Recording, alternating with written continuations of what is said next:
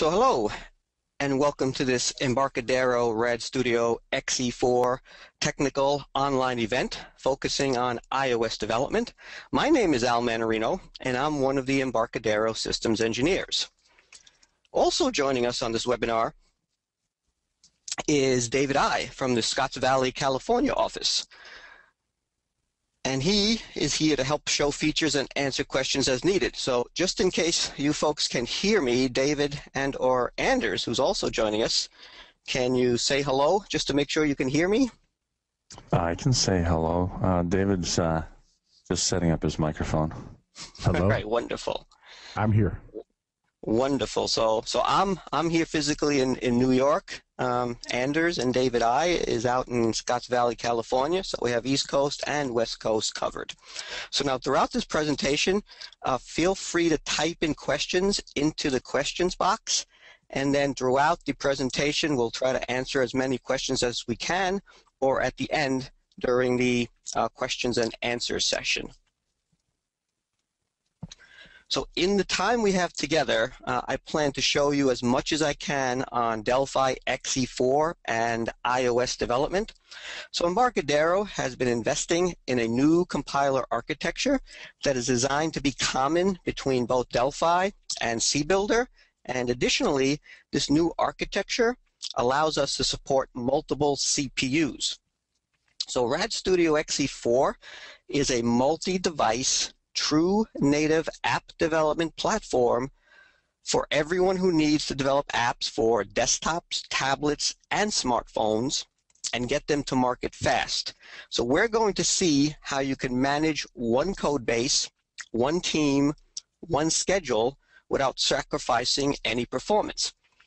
And the true native apps that you're going to create, like the one we see here, is going to give you much faster application performance with much more control and tighter security and a much better user experience. So the goal of this presentation are these, are these first three items. So we want to go over multi-device, true native application development from a single code base for iOS, Windows, and Mac. We want to be able to reduce complexity and cost with just one of everything for your app development. So that means one development team, one code base, one budget, and one schedule. And we want to be fast to market with extendable and reusable visual component building blocks for faster and highly maintainable development.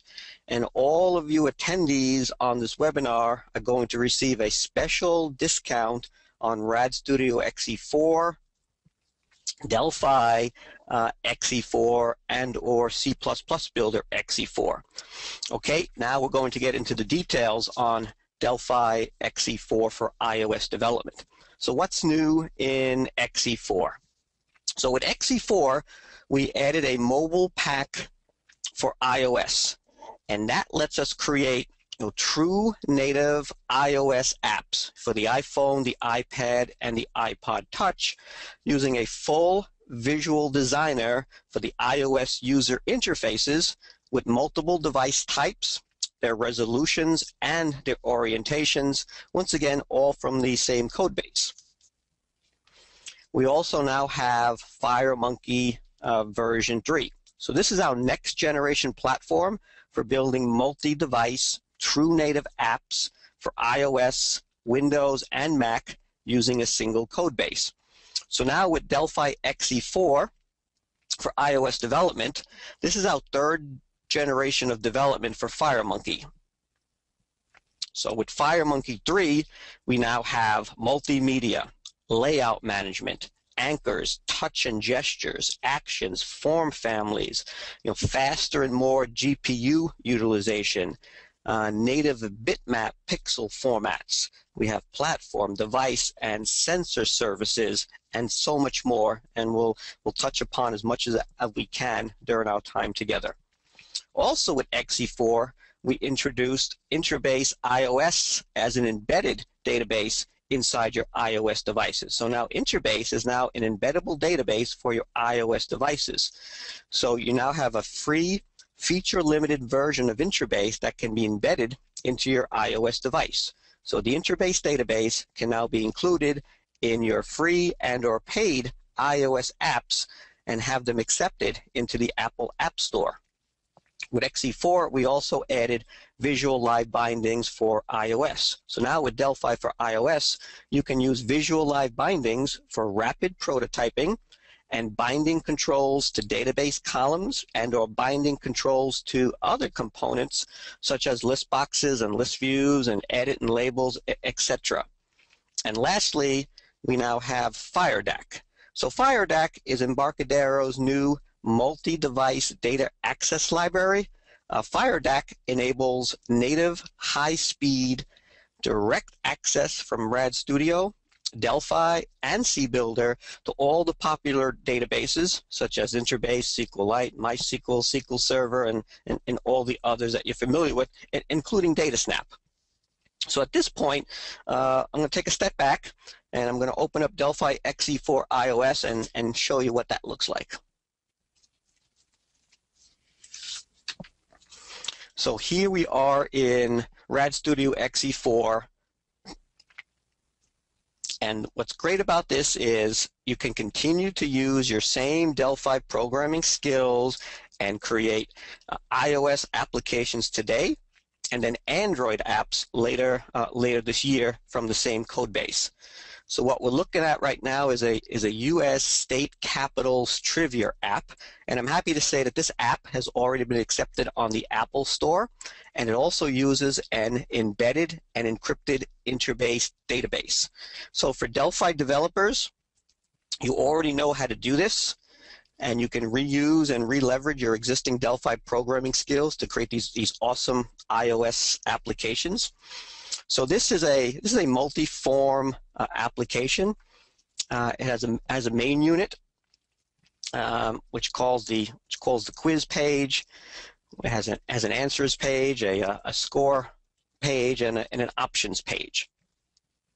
So the main page uh, is going to call this quiz page, and then inside the quiz page is where I set my connection to my Interbase database, which is done right here.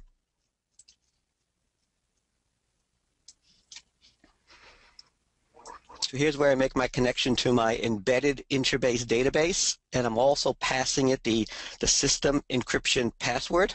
So again, I'm going to say I'm happy to say that this encrypted embedded Interbase database has already passed submission to the to the Apple App Store. And as we're looking at the code, it's the same Delphi code you're already familiar with. Now here from the project manager, I see that I can deploy this application either to my iOS simulator, and that's included with Delphi, or I can send it to my real iOS device, or I can run it as a 32-bit uh, Windows application. And then from my deployment manager, I see all the files that, that I need to get packaged up for deployment, including my embedded Interbase database and, and the license key that I need for it. So now if I want to run this application on my iOS simulator, I'll select iOS simulator and say run. So here we build the application here on Windows I'm also I'm also connected to a Mac because we need the Mac to uh, we need the Mac libraries to to help us sandbox and make sure I have a developer certificate to this to create the application. And then it's going to send it over to the, my, my Mac and fire up my iOS simulator and I now see the application running in my iOS simulator. So between my Windows box, my IDE, it went through this platform assistant server and it opened up my iOS simulator and it ran the application here. So here's what it looks like on my iOS simulator. So now if I select my iOS device in debug mode, I'm going to do the same thing. This time it'll send it over to my iOS device. So when I come up here and I say run this application, it's going to do the same thing, send it over to my real iOS device. And let me turn that on for you and show you what that looks like.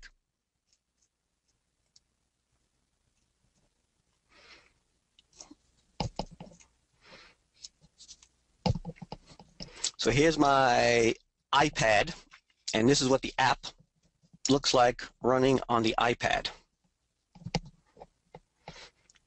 So that's all very cool. All right, I'm going to disconnect myself from my iPad and we are going to continue. And like I said, at any time, feel free to uh, enter questions into the questions box, and then throughout this presentation, we'll be, we'll be happy to answer them for you. All right. So many, many new features were added into XE4. So here's a uh, here's a list of some of the 34 new features, and as you can see, most of the new features are on FireMonkey and iOS development. Plus, we added uh, uh, features for uh, CBuilder 64-bit compiler fixes and enhancements. Now, in addition to all the great core pieces that are inside of RAD Studio, Delphi, and CBuilder. Uh, RAD Studio also includes these bundled special editions of the many popular third-party tools. So you get all of this additional functionality as part of RAD Studio at no additional cost, and you can visit our Embarcadero website for more information on the feature sets of these special editions. So uh, bundled tools are Fast Report for reporting, TeeChart graphing, and charting, the IntraWeb web application platform, uh, Beyond Compare, File Compare, the AQtime performance profiling tool, uh, the Indy in Internet Direct components, a CodeSite for logging, a GlyFX component library, the entire IPworks Internet components, and documentation insight uh, doc tool for Delphi. And then in addition, we also have the special offer uh, good until the, the end of this month, June 30, 2013, so in addition, you can also get uh, TMS Cloud Pack components for iOS, uh, the Mida VCL, the FireMonkey converter, uh, the FireMonkey Premium Style Pack, where you get uh, nice style sheets like this uh, Jet and, and Diamond, and Mac in Cloud um, cloud-based Mac access. So those of you, for you folks who don't already have a Mac on site and you need to test and simulate your applications, uh, this is a great service uh, that you can use. And part of the agreement between uh, with Embarcadero, you get uh, 30 days free use uh, of this Mac in Cloud access to, to test your applications.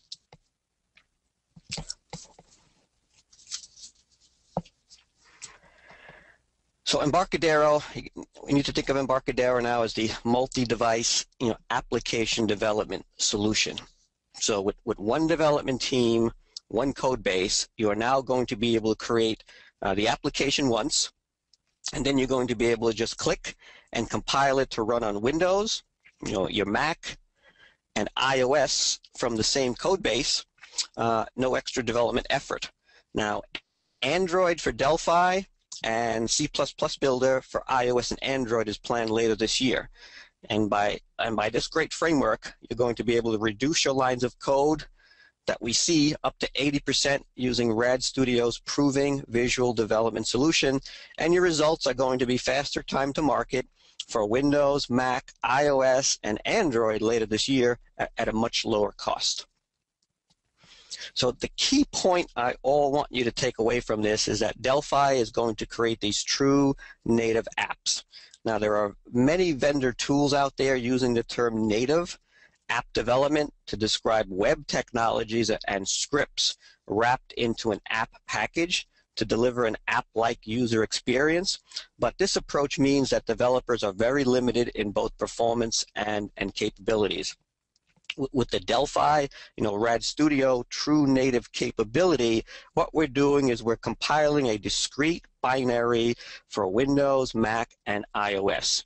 So this is going to make your app uh, very fast, very secure, and it's going to deliver a, a standard user experience that users expect from a, from a multi-touch experience.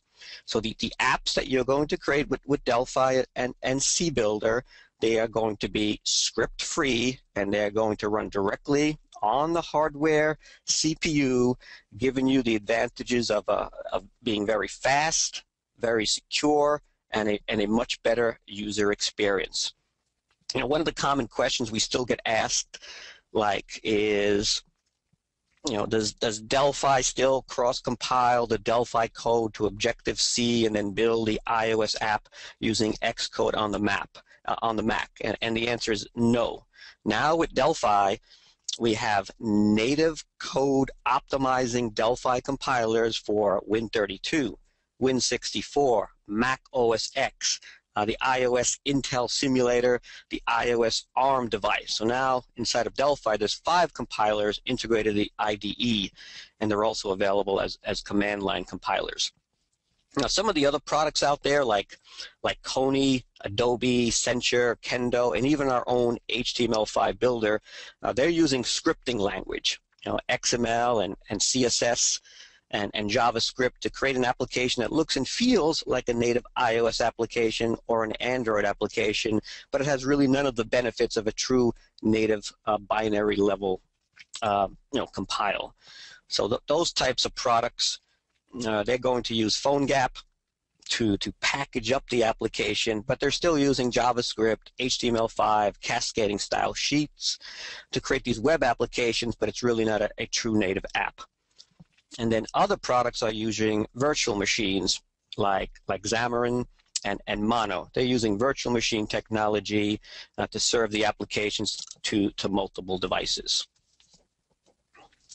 But with, so the, the advantage now with with the with the Delphi compiler is we're using uh, Delphi and CBuilder on the front end to to parse your Delphi and, and CBuilder code, and then we're sending it into our uh, common uh, intermediate representation. That's our LLVM, and then from there we can either use our Intel-based compiler or our ARM compiler to generate the true the true native apps we need going forward. So that that's very exciting. Now, as far as demonstrations, for the rest of this uh, webinar, uh, I plan to show you as much of this functionality as possible that we have time for. So I'm going to walk you through, you know, the, the whole setup. You know, how do how do I set up my environment to test my Delphi for iOS application on both the iOS simula simulator and the iOS device? You know, how do I go about creating my first FireMonkey iOS application? Uh, how do I use the, uh, the user interface elements like the buttons and the calendar and the combo boxes? Uh, how do I do rapid prototyping using visual live bindings and the new uh, prototype bind source component? For web services, I'll walk you through how to consume web services from your iOS device. Uh, we'll take a look at all of the device functionality in terms of iOS sensors and services. You know, how do you take and share a picture in an iOS application? How do you use the location sensor on an iOS device? How do you use the notification center on a on a iOS device?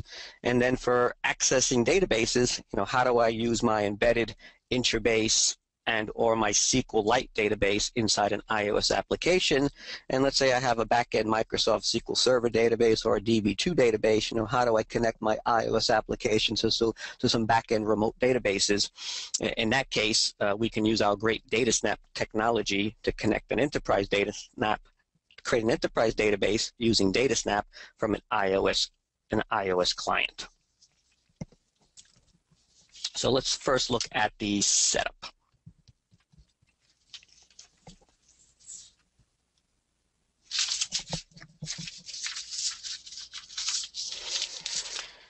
So as we're looking at the setup, so as you saw before, uh, when I was inside Delphi, Delphi is still a native Windows uh, application. So the Delphi for iOS is, is a native Delphi compiler.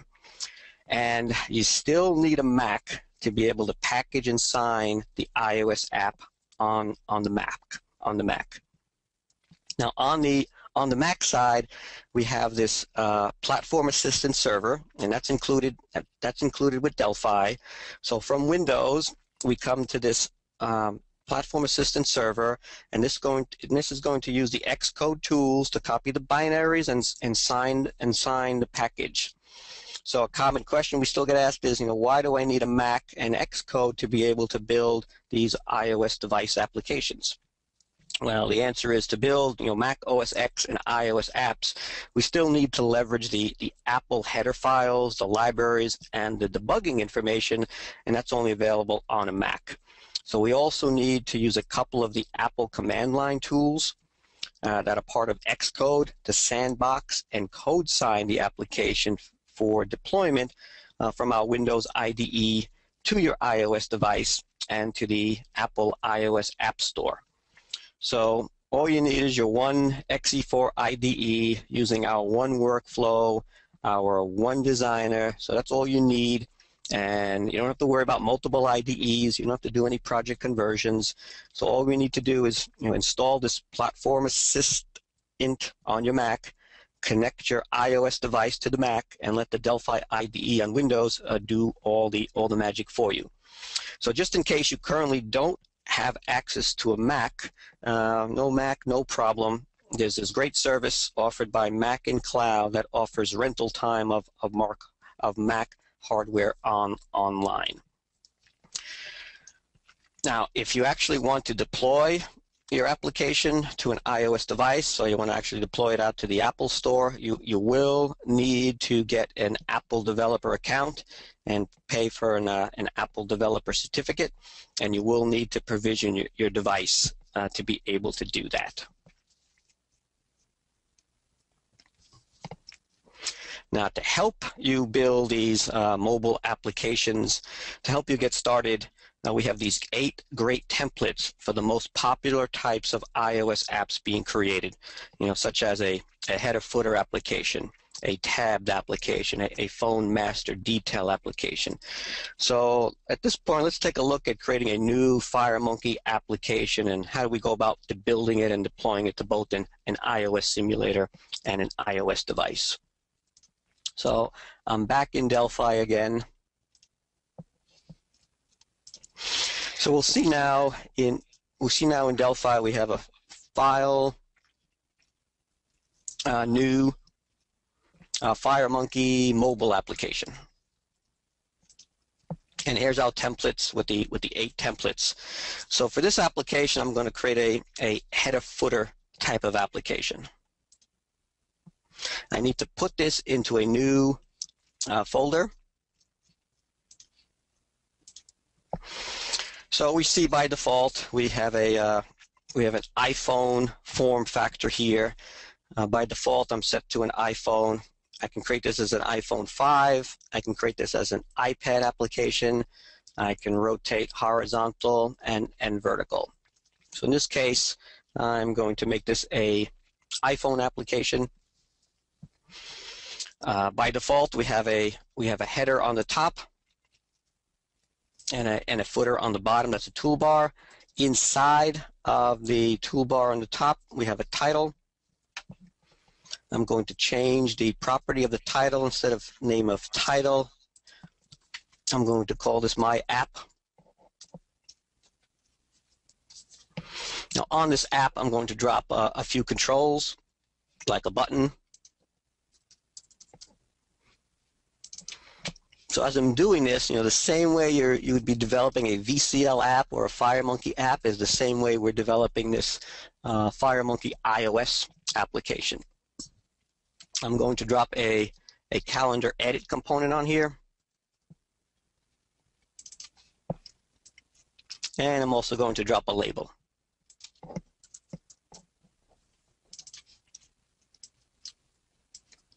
So the same type of event handlers you have on your VCL and FireMonkey applications are the same we have here.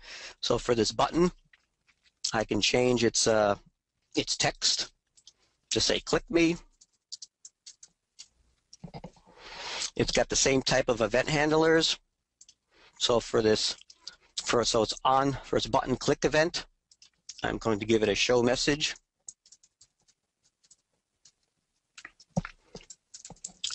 I'll say hello. Delphi iOS. So again, the same way we're doing it for a VCL application is the same way we're doing it here for iOS. So we all know that show message is a Windows API. When we send this to, over to iOS, we'll convert this to the iOS native uh, pop-up menu. And that's also pretty cool. So back to our designer for our calendar edit, uh, its event handler is a an on change. So if I change the calendar, it will fire this event on change. And when we fire this event, uh, whatever date we pick, I want to set that as the text in my label. So again, as I'm doing this, once again, the same uh, Delphi skills you already know is the same thing we're doing here. So I'm going to format its date and time. And I'm going to make this month, month, month, month, day, day, uh, month, month, month, month, uh, day, day, and year, year, year, year. And I'm going to take the calendar, edit one, take its date, and that'll do that for me.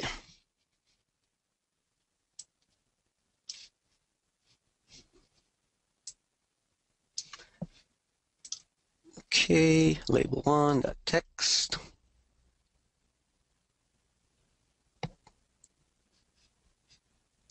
Label one should have a text label LABL label one dot text.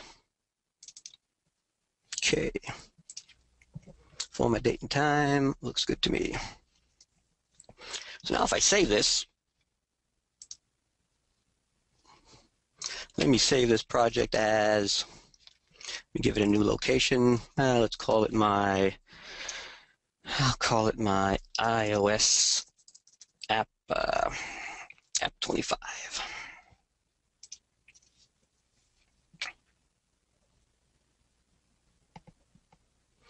So now when I say I want to send this out to my iOS simulator, if I run and run, so again, it builds it here locally, then it sends it over to my platform assist to package up, sign it, and then it'll open it up in my iOS simulator and runs it here for me. So when I click this, uh, the show message on Windows becomes an iOS pop-up menu, and that's cool. And the calendar edit box becomes a true native iOS component, and that's also very cool. And the label does what it's supposed to do. So that's all very cool.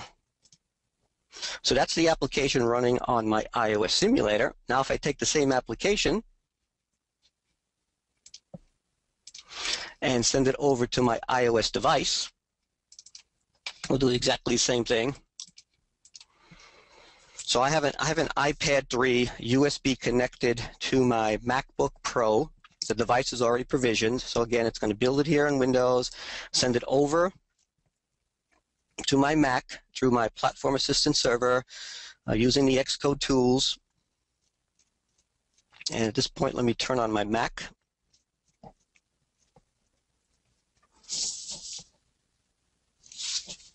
So it's building here. It'll send it over to my Mac, uh, send it to my actual device, fires up with my default splash screen, and, and there's the app running on my Mac with the same behavior with all the native iOS controls. So that's also very cool.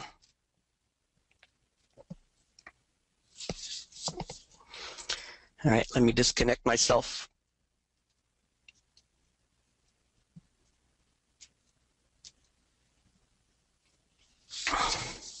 All right, so that's cool. So we, we saw how we can create a FireMonkey iOS application, dragging and dropping components on, onto the form, deploy it to both my iOS simulator and my iOS device. Now, if I want the same application to be multi-device, you know, Win32, Win64, Mac OS X, you know, I, I can do it this way. So I can go up to my project group. I can add a add a new project. I'm going to add a FireMonkey desktop application. So I don't need a default file that it creates for me. I'm going to remove that from the project. And all I need to do is take, take the file that was created in my iOS application and bring it to my project, uh, FireMonkey project. So now because it's a FireMonkey application, uh, I have a I have a Win32 based application. I can make it a 64-bit application. and a Mac OS X application. Now back on the iOS side, uh, because the IDE is still Win32-bit, I'm also able to add a Win32-bit application uh, to the iOS application also. So now, if I want to take the same application and create a standalone Mac OS X executable, I'll simply highlight Mac OS X and run it. Once again, it builds it here, uh, sends it over to my Platform Assistant server, and then uh, creates the standalone Mac executable, and it, will run this on, on my Mac for me. So this is the this is the application running as a standalone Mac executable. We see on the Mac we take care of the of the heading for us. So a, a click me show message on the Mac looks like this, and a calendar edit on the Mac looks like this. And if I want to run it as a 32-bit application, this is what the app looks like as a 32-bit application. So there's our show message, and here's my calendar edit. So that's all pretty cool. So that's the same source code running as a Win32, Win64, Mac OS X, iOS simulator, and iOS device application. So that's all, all very cool. So the goal is, you know, once we introduce Android to this, from the same code base, I should be able to say right click and say I want to add platform and add Android to this also. So from the same code base, we'll have Win32, Win64, Mac OS X, iOS, and Android uh, from this one same code base. So that's all very, very cool.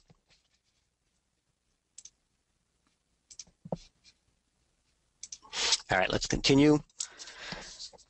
Uh, so we just saw how using the, the target platform, uh, we can deploy to both the iOS simulator and or my iOS device. Now, you can your, your apps now, when we create these apps, these apps deploy with both the, the Retina and the non-Retina libraries. So depending on what device it gets deployed to, if it's Retina, we're going to use the Retina libraries. Now, Apple provides three types of deployments to the iOS devices. You have debug mode, and that's what I've been doing all along. There's also an ad hoc mode and an App Store mode. Now, all of these three are, are fully documented in our documentation. So for the debug mode, it, it, you can debug and deploy to an uh, iOS device that's provisioned and USB connected to your device. Uh, ad hoc deployment means you can distribute the application inside of your own uh, company with, with an enterprise license. So you do not have to submit it to the App Store for distribution with an ad hoc certificate you can host the application inside your own company and have your own users connect to uh, your own service to get the app and then the, the actual app store that allows you to, to deploy the app directly to the app store. And once again, uh, these are all documented uh, on our site, clearly defining how we do this uh, defining the application settings. So you can define your application settings and device support from, from project options and uh, applications. So for a mobile application, the application page provides these three tabs. You have an iPhone tab, iPad, and uh, orientation. So for the iPhone and the iPad, uh, RAD Studio provides these these file icons that you can use as default FireMonkey iOS uh, uh, for applications. So those are all the flames uh, that you see when we uh, submit the default applications. So in this case, uh, this is the uh, icons I use for that U.S. state capitals trivia app, and that's why we get these great splash screens and icons when I submitted that app. Also on this page is an orientation tab. So for the orientation tab, you would you would check you would check this checkbox so you can limit or specify the orientation that your iOS app supports. So for example, if I always wanted my iOS app to be displayed in portrait orientation, I would have said uh, custom orientation and I would have selected uh, uh, portrait. So these uh, these iOS devices support rotation of the form in, in all of these following directions. So you know, the iPad I can rotate in all directions. The iPhone and the iPod Touch it rotates in all directions except upside down. So with this custom orientation, if it's not checked, then the orientation of your app responds to the default rotations according to the iOS device. So I can either go portrait, uh, upside down, uh, landscape home right, or in this case, I selected landscape home left, and that means the iOS app displays in a horizontal landscape orientation with the device's home button uh, on the left. All right, native iOS controls and support. Uh, so Delphi for iOS supports native iOS controls like, like the combo box, the date picker, uh, pop-up menus, and, and, many more. So let's take a look at some of the uh, iOS controls that are available to us.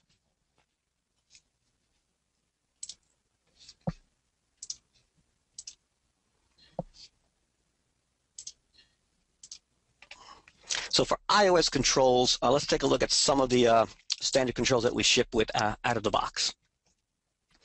And let me send this to my uh, simulator.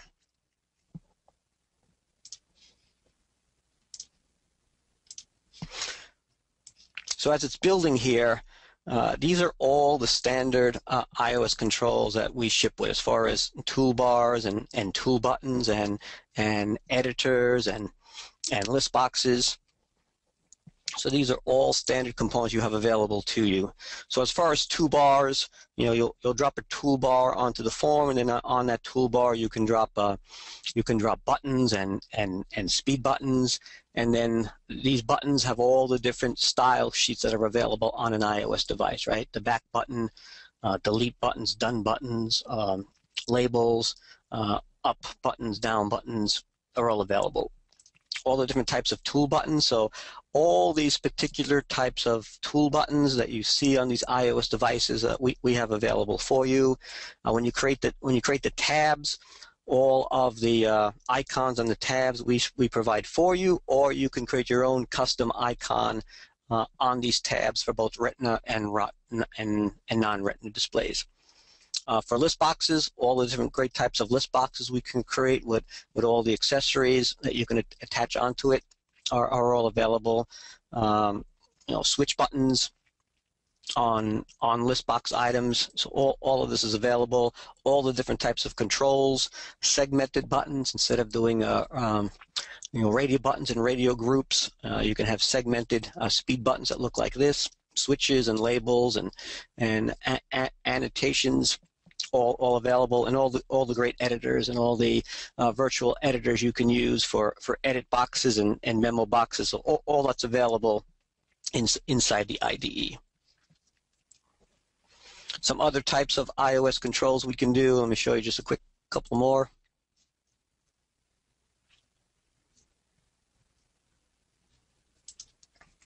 Uh, let's take a look at uh, this is my version of a uh, the Urban Spoon app. So you're in a you're in a new city and you're looking for a restaurant. You want to find a new new restaurant in the area. So in this case, it's the same uh, calendar edit box we saw already.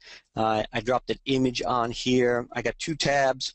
Uh, one to pick my favorite uh, restaurant picker, and another one for the for the favorite restaurants I see. I dropped three combo boxes on here, and I can either uh, select the combo box and I could add add items this way or I can programmatically add them to the uh, to the to the uh, to the application. So let me send this to my simulator and we'll see what this looks like.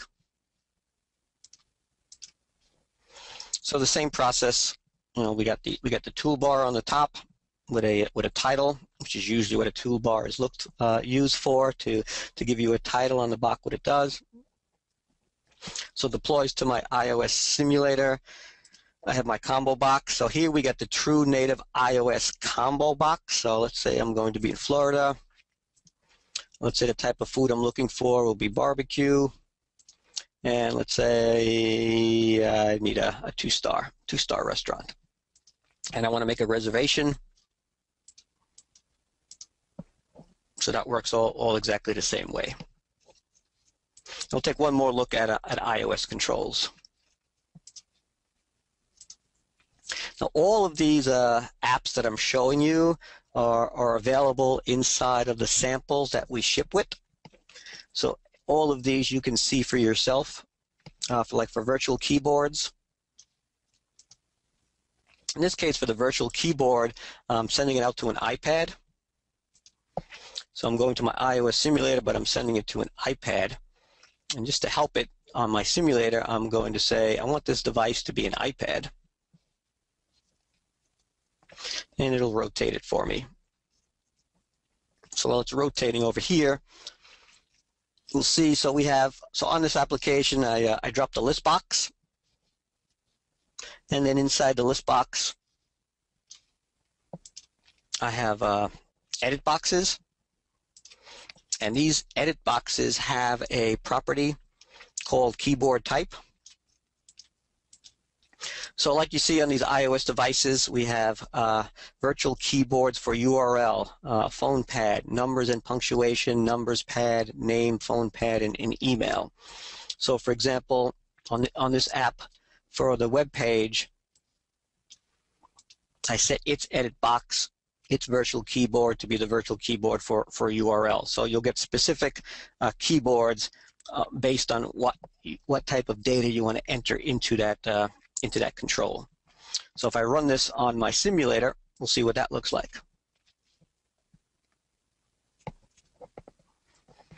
So same process, build it here on Windows, send it over to Platform Assistant, and deploy it to my iOS simulator, and I can do the same thing on my iOS device also. Here's my iOS simulator pops up. So we'll take a look at web page.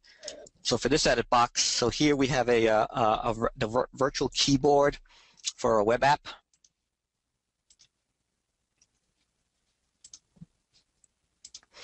And then for like a phone, we get the phone pad uh, that pops up.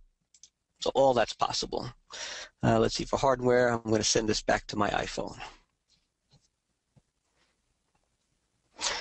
All right, so that was a quick look at uh, iOS controls and, and, and what we can support.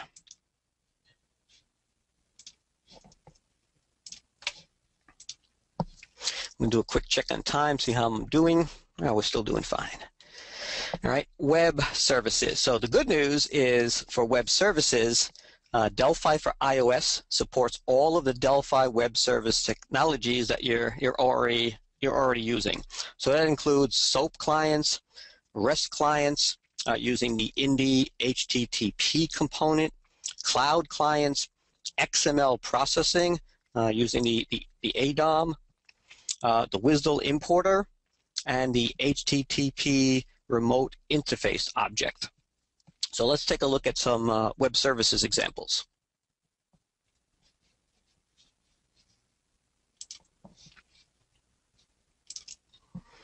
So the first one I want to look at, uh, this is my Delphi Feeds application. And on this application, uh, I dropped a list box. I have an Indy HTTP component, which is a great component to get out to the internet and, uh, and grab a website and I also have a, an XML document component. So what I want to do here is go to a website that's going to give me an XML page, and I want to load that XML page into my XML document. I want to parse the XML document, and I want to pull out information off of that document and display it on my list box. And I want to go into, so when I click on my uh, update feed button, we're going to our very own uh, feeds, Delphi feeds site which is this. And if I open this up in a web page, we'll see what it looks like. So we'll take a look at the latest feeds that are going on right now as we speak. So we want this application to uh, go out to the internet, go to this site. So we have a nice blog from our chief scientist, Allen Bauer, on automatic reference counting. And so these are the latest uh, Delphi feeds out there. And if we look at this page as a as its page source.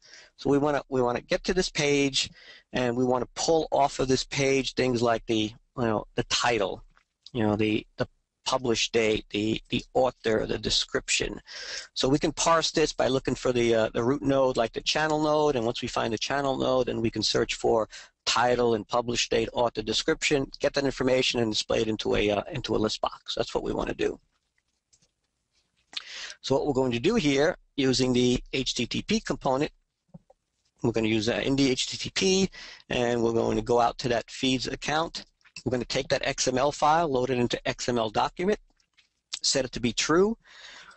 And then we're going to parse that XML document, looking for that root node of channel. And then once we find it, we're going to pull off its title, its author, and its uh, uh, pub publication date. Then since we have that to our list box, we're going to set the text item in our list box to be its title, and we're going to send the detail of our list box to be the author. And that's what this is going to do. So let me send this out to my iOS simulator. So same process, uh, build it here, send it over to Platform Assist, and deploy it to my iOS simulator, and we could do the same thing for the, uh, the iOS device also. So once it gets out there, we'll click on the Update Feed button. It'll go out to the Delphi Feeds website, parse the XML document, and uh, and return the results to my to my list box. So update feeds, go out to the internet. That was pretty quick. There's Allen's blogs on uh, on RC, R, ARC and Delphi. So that works really great. Uh, some other web services I created, like uh, currency exchanges, goes out to uh, Google's Exchange API. Uh, say what what is 100 USDs to BRL worth today? Let's find out. It's worth that. That's great. And a, a third web service I did out there that uses the uh, uh, importer was my WSDL calculator, and I'll show you all of these too. So let's say I want to add two numbers up, 11 and 24. Click this plus, goes out to the web service, calls its add function, and, and returns its results. So that's pretty cool. Now let me show you those two really quickly. So back into where, back into Delphi. If I take a look at uh, the first one we saw, a currency exchange, uh, very similar to what we did before, an Indy HTTP component. So um, I'm passing it this uh, URL, and then the, the two edit boxes in there are, are appending my uh, my from and to uh, of what I want exchanged and I'm sending it to a, uh, uh, it comes back as a JSON object. I parse the JSON object looking for the value, and then I uh, send the result uh, to, to my label. For, for the WSDL calculator, let me show you that one.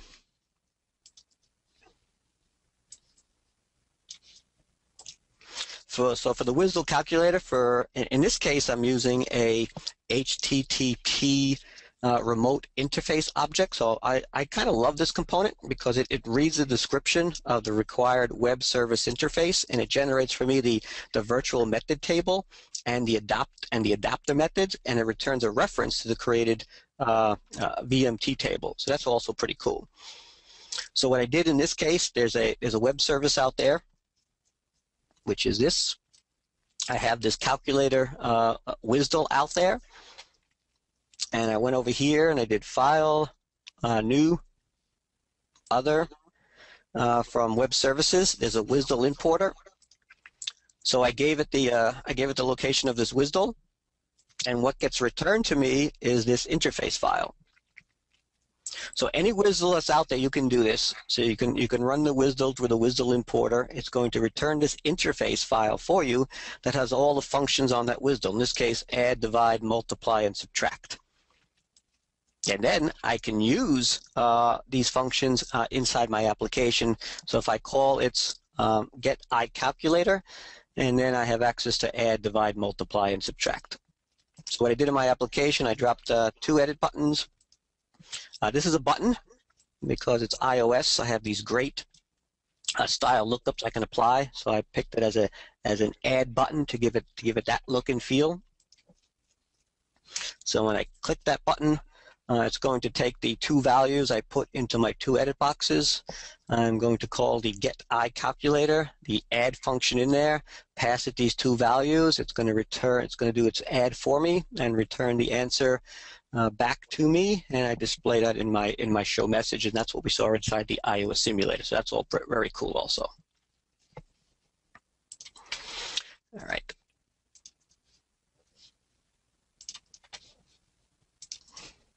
Next, iOS sensors. So what's great here is uh, Delphi for iOS also supports all these great iOS sensors like, uh, like the orientation sensor.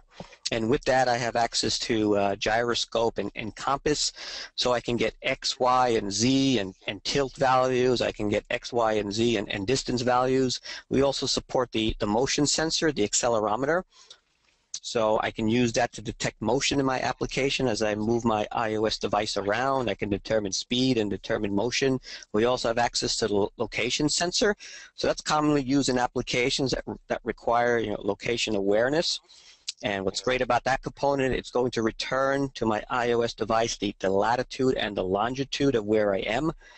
It also gives me access to reverse geocoding. So it's going to convert my location data to a very readable address like we see here. So when we turn on location sensor, it's going to give me my latitude and my longitude, and then from there, I can do reverse geocoding and get all this great uh, readable address information, exactly where I am, uh, right down to the uh, individual address of where I am. And this also works on Win, Mac, and iOS.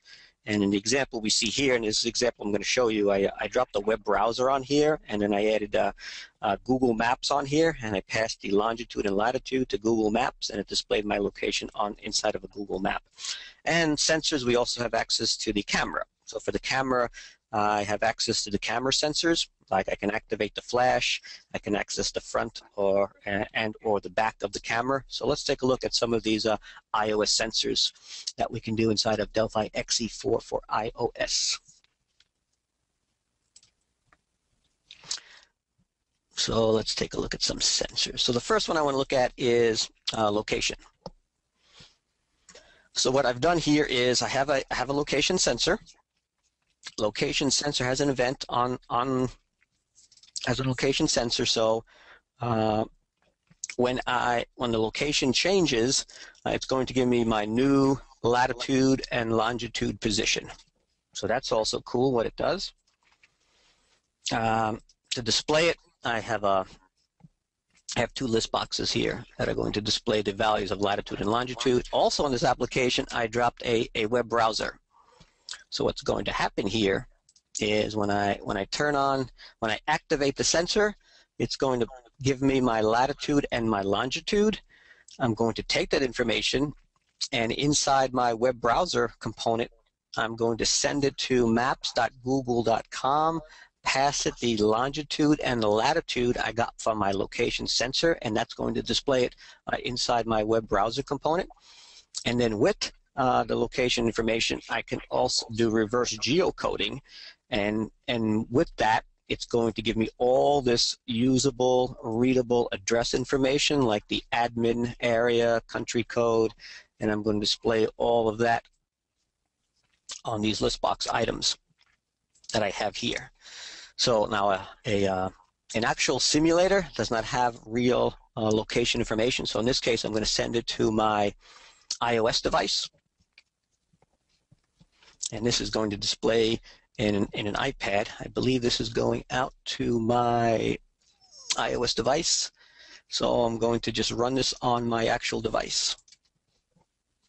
So same process, uh, build it here locally, go through Platform Assist. This case, through my USB connected iPad 3, uh, it will uh, load it to my actual iPad 3 and, and display it. So I'm going to turn on my iPad 3 for you now so you can see this.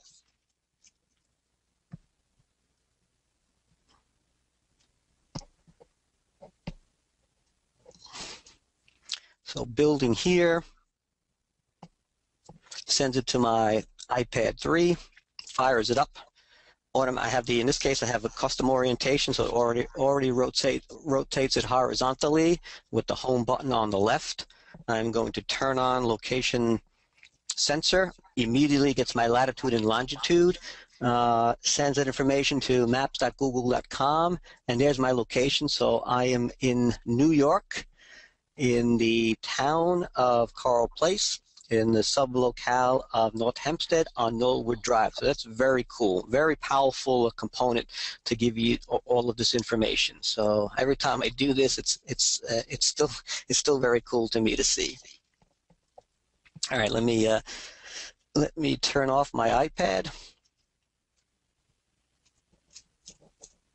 and let's continue.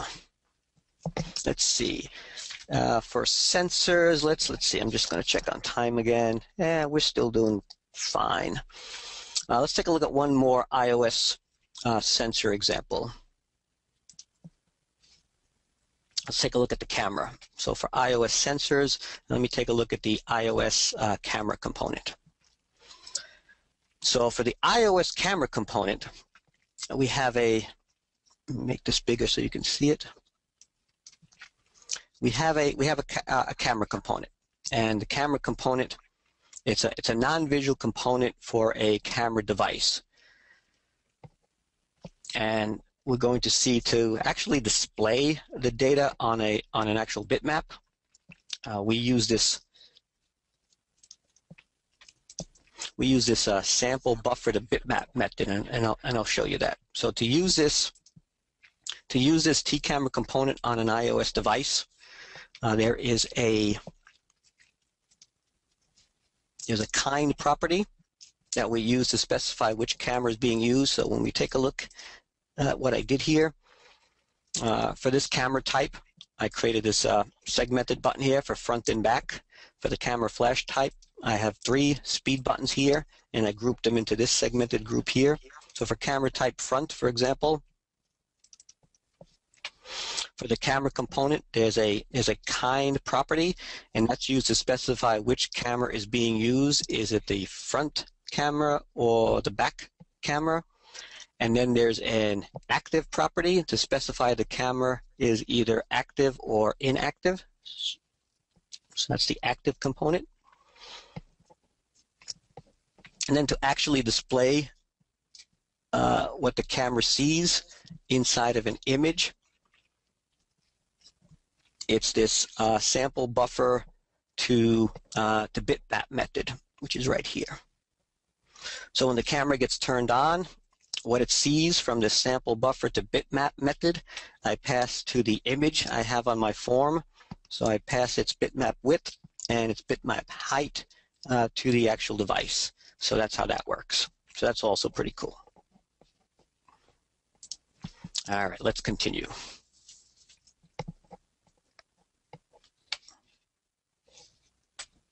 So the next thing we want to take a look at is uh, iOS Notification Center. Uh, so Delphi for iOS supports um, local notifications. So for example, we can do things like uh, sending scheduled notifications and, and sending a local notification immediately, cancel all the notifications. Uh, we can set the badge number uh, for an application icon. So for example, when you have uh, you know, an email icon and you still have 18 more emails to read or 18 more text messages, uh, that's, the, uh, that's the little badge icon up there that you can set, set values to.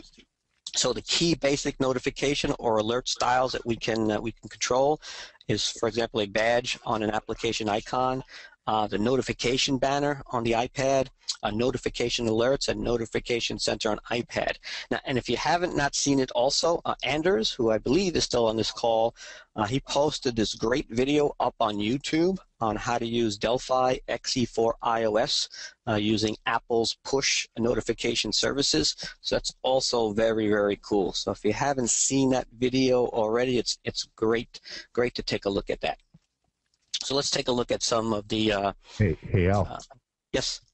No, Anders is right yes. here, and uh, Anders, yes, please, please, please feel free to uh, elaborate on your on your most excellent, awesome uh, Apple push notification services.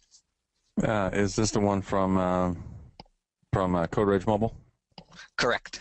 All right.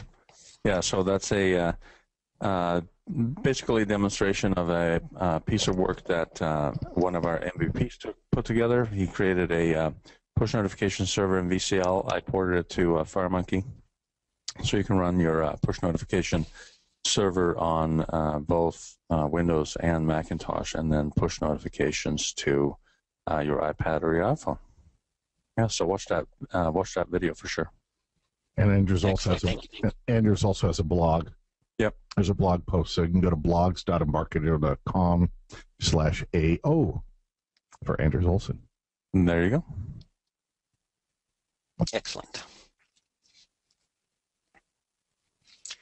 All right, so for notification, let's take a look at some examples for that. Uh, notifications. Let's take a look at uh, sending uh, notifications.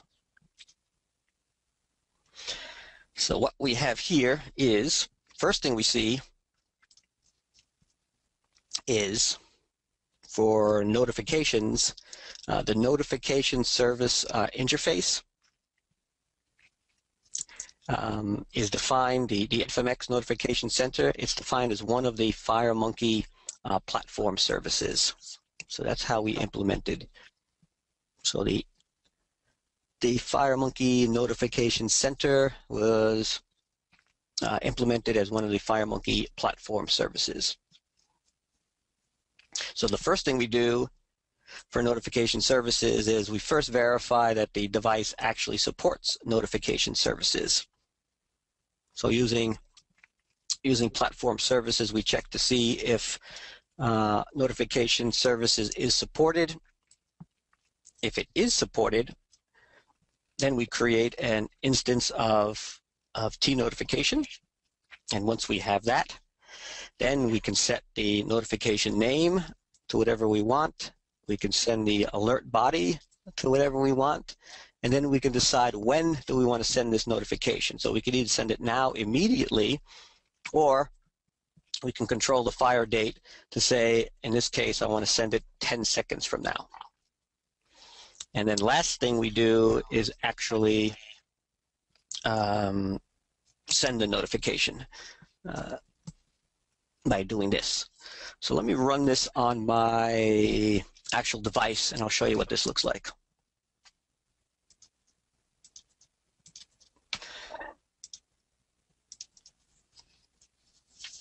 So if you're familiar with the notifications, like if you have an iPad or an iPhone, you got you have the drop down on the uh, on the top where you can you can be sent notifications and, and alerts. Uh, let's say you're a medical doctor and uh, working in a uh, you know kidney dialysis environment, and you know if a, if a lab result comes back wrong, you know you want to immediately send that result to your uh, to, to your doctor to notify him or her that you know there's a there's a patient in critical need. So you know it's kind of a urgent need to send notifications. So here's what it looks like. Well, you can't see it until I turn it on. Let me show you my iPad.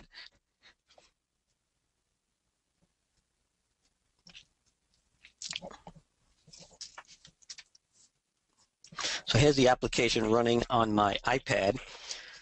Uh, how notifications work uh, up on the top you see the little drop down. So right now we have no, no new notifications from Notification Center. So if I, so if I send the scheduled notification, um, so right now the application is running.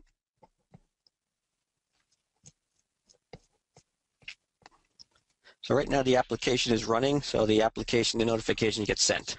Uh, if I if I send it if I send it, and in this case I waited 10 seconds, I can close the app, and then 10 seconds later, even with the app closed, the notification will uh, will still work for me. So if I send it immediately, we get it sent immediately. So that's real cool. We can do this. Let me see if I can do uh, um, with the app closed. So if I send a schedule notification, and I shut down the app, and if we wait to 10 seconds, uh, eventually the uh, the notification will pop up. If we if we wait to 10 seconds for it to uh, just and there and there she is. So whether the app is running or whether the app is closed, uh, notif notifications work quite fine and, and exactly how they're supposed to. So that's also very cool. And it's all controlled by the iOS device.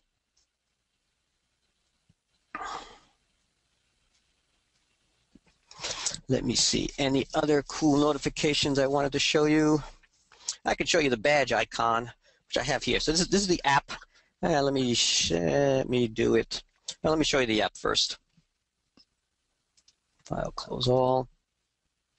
For notifications, this is how you can actually set the uh, the badge uh, on an icon. So for example, this is the application. This is the application here. When I click it, um, say say you had an icon for setting a, for some some types of email. So let's say I got 35 emails still to read. if I set the badge, so not, now that icon, I have 35. So very easy to set and, and reset uh, the badge uh, inside of, of any icon using, using notification. So if I go back into the app and I reset the badge back to zero, and then the, the badge goes away. So similar to how we did it with uh, uh, the, not the notifications we just saw previous, uh, same, same way it works here. Once again, we first check to see if notification is supported on the platform. And then if it is, we can set and reset uh, the badge icon uh, using notification services. So that also works quite well and exactly as it should. All right, let me continue. All right, the next thing we want to look at is uh, Delphi iOS being enterprise ready. So what do I mean by this? So, so Delphi for iOS. So think of this as your your iOS device, your iPad, your your um, your iPhone, or your uh, iPod Touch. So so Delphi iOS, it, it's ready to access either your embedded Interbase database or or SQLite uh, SQLite database. So I can embed Interbase and or SQLite inside my iOS device, and that's very cool. And it's also enterprise database ready to get to any of your backend, you know, remote SQL Server database. So if you got if you got Oracle or MS SQL or DB2 or Sybase or any of the other backend databases, um, we can connect to those databases using our uh, DataSnap technology. So, so the iOS devices, the Delphi iOS applications can connect to a DataSnap service, and then from a DataSnap service, it can access these backend remote databases and send that information back uh, to the iOS devices. So in addition, uh, what I'm going to call any other type of DataSnap client. So it could be a it could be a, a native Windows application, a, a web HTML page, and or any other type of mobile app using our mobile connectors, such as a you know a BlackBerry, a, a Windows phone, an Android, an iOS device through mobile connectors. They also can connect to a DataSnap service and access the backend data.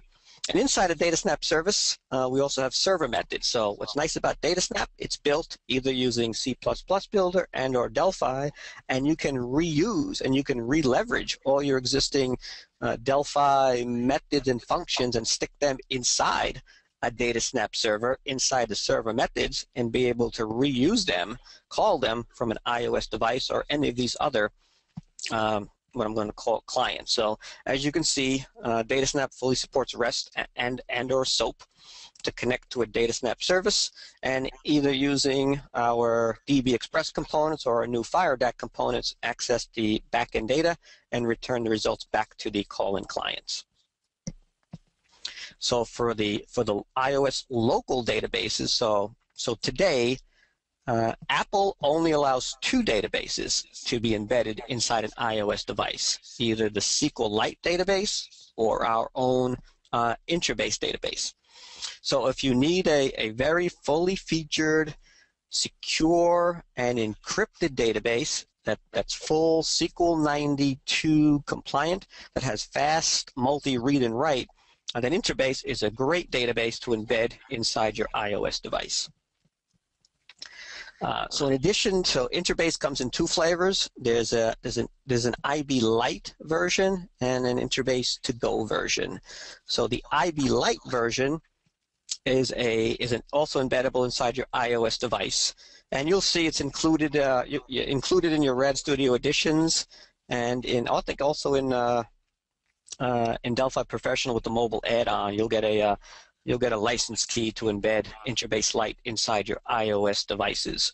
So if you need uh, if you need an embeddable free database, Interbase IB Lite, and and the database is going to be less than 100 megabytes, and you can you only need one simultaneous user, and you don't need it to be encrypted, and you don't need any uh, strong SSL encryption if you don't need the database encrypted or the column encrypted and you know, you can get by with just one CPU core, then IB Lite free is a great embeddable database inside your iOS devices. If you want that embeddable database to be encrypted and use strong you know, encrypt the database and the columns, and you want strong encryption, SSL level encryption, and you want multiple simultaneous users and be able to use multiple CPU and cores, then you can use Interbase to go. So both Interbase to go and Interbase Lite are, are available to be embedded inside your iOS device.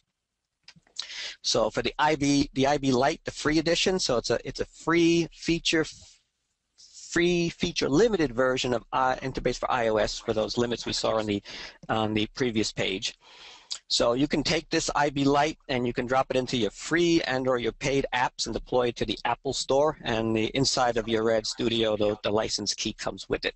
So let's take a look at an example of, uh, of IB Lite embedded inside of an iOS device.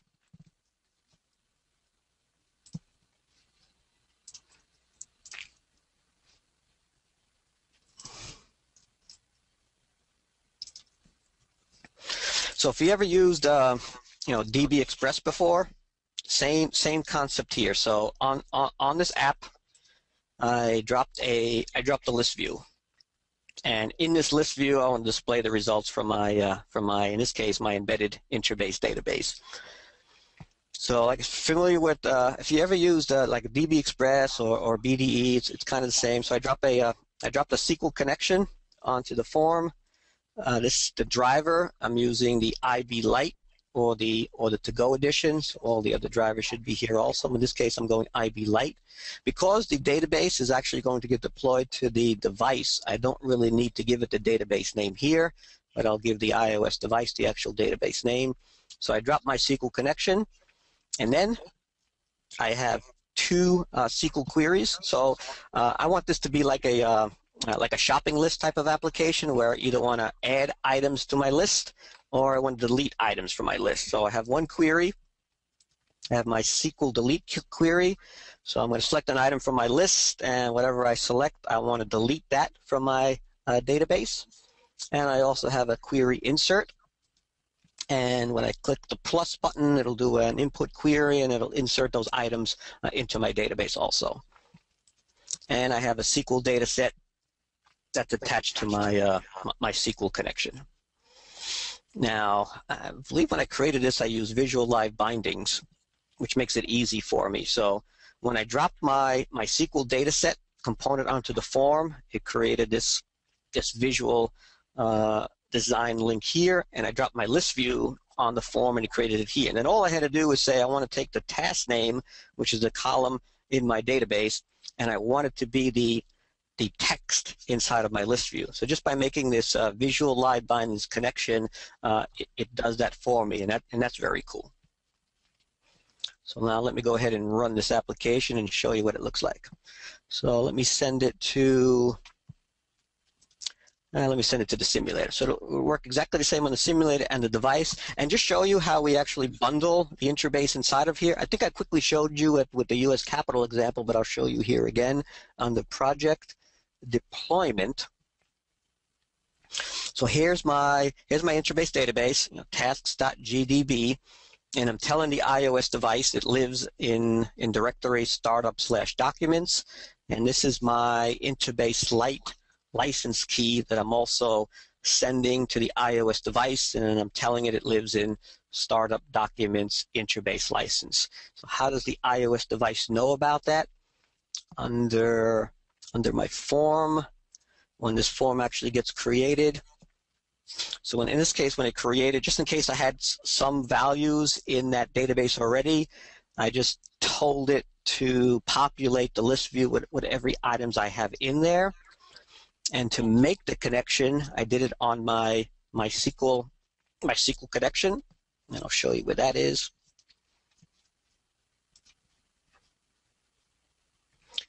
So on my SQL connection, uh, before the connect, I said before we actually do the connection, if this is if this is running on an iOS device, this is where I'm telling the iOS device where to find my actual database called task.gdb. Uh, there's a great parameter, environmental variable called get home path It's part of our uh, system sysutils. It's a great way, it's a great uh, value to use for, for multiple platforms.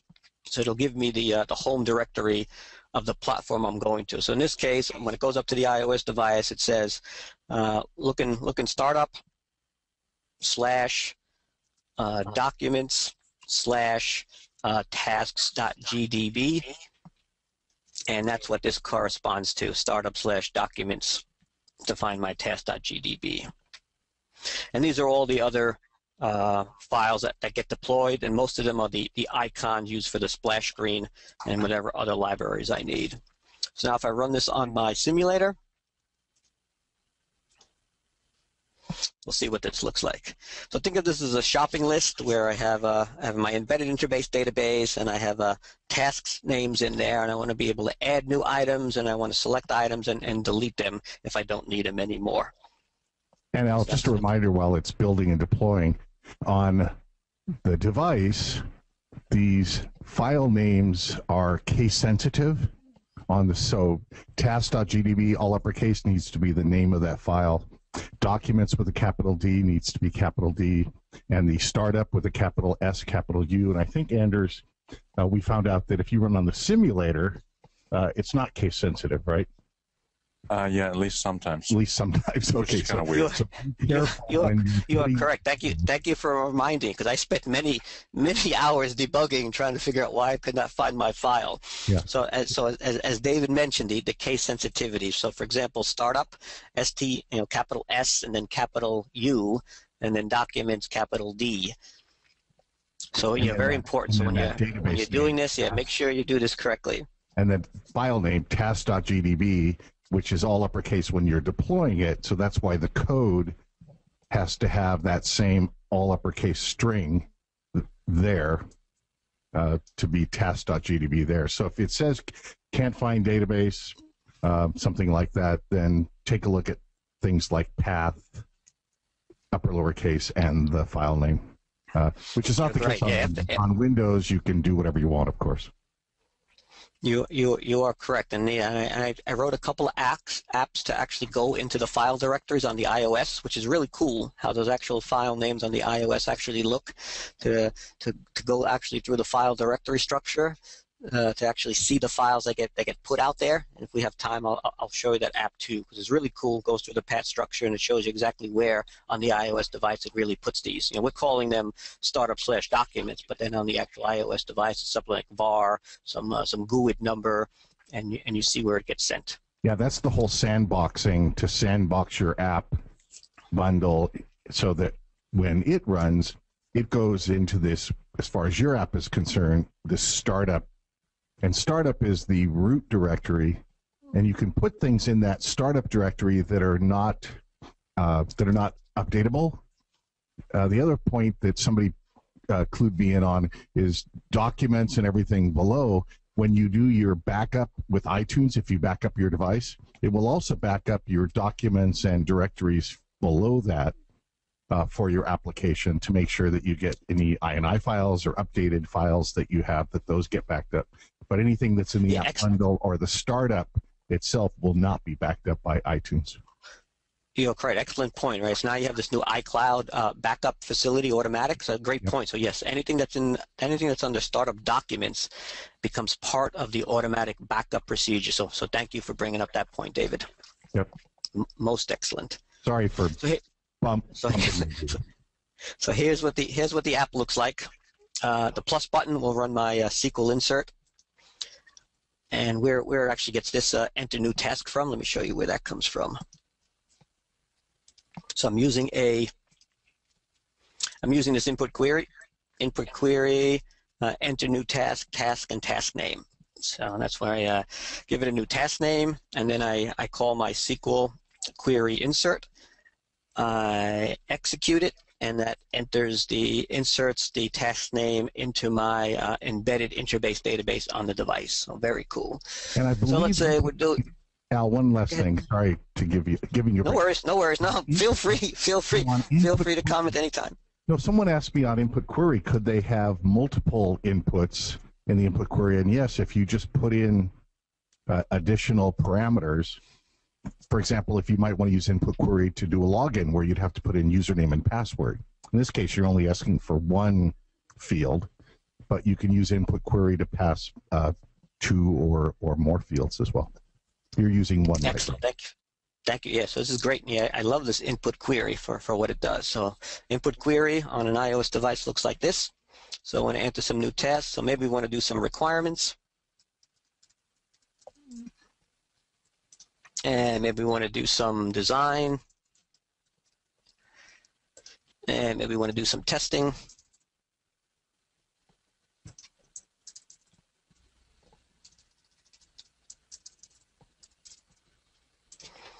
But, you know, we're a bunch of developers, so we don't really need requirements. We can delete that. We don't really care about design, and we don't have to test out code because it's also great, so we can delete that too. All we need to do is code because it's all about the code. So, so what's cool about this, there's an embedded uh, interbase database inside this iOS device, and this is a, a freely uh, deployable, no re, no redistribution fees that you can embed inside of, a, of an iOS device. So, so very cool. Okay, I think we covered all, and the same exact, the same same thing works for uh, for SQLite. So file close all, save changes. I say no. So I think I have the equivalent for for SQLite. So that was the Interbase Lite version, and the exact same version for for SQLite, built exactly the same way. And if we look at its its deployment, in this case, we we're deploying a, uh, a SQLite database instead.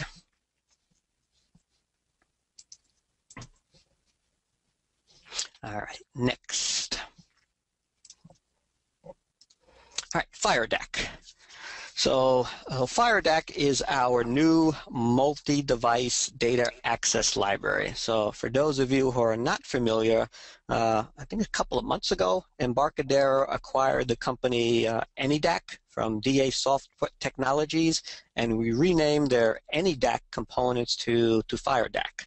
So FireDAC is a set of a very high-speed um, database access components for, for all these popular uh, SQL databases. So from, from RAD Studio, Delphi, and or C++ Builder, you have access to all the popular uh, SQL databases out there, including uh, access to our data, DataSnap uh, servers also. So the, the FireDAC data access structure, you know, very, very similar to our own uh, know, DB Express components and or the BDE. So you know, so at the at the base level, so at the base level, we have this we have this physical level. I'm trying to find my cursor. So at the base level, uh, there's a physical level for the for the native drivers, and and at this, so this base level, this physical driver, these are these are the FireDAC drivers to access the uh, the DBMS uh, clients. Then we have this uh, data adapter layer, and this is where data is mapped into the internal structures of, of FireDAC uh, into its local uh, data storage. And then if we go, then if we went in the opposite direction, uh, this this data adapter uh, that can convert the changes in the data cache into the SQL commands, and that does the updating, the deleting, and you know, uh, the browsing, and then those drivers actually execute the commands.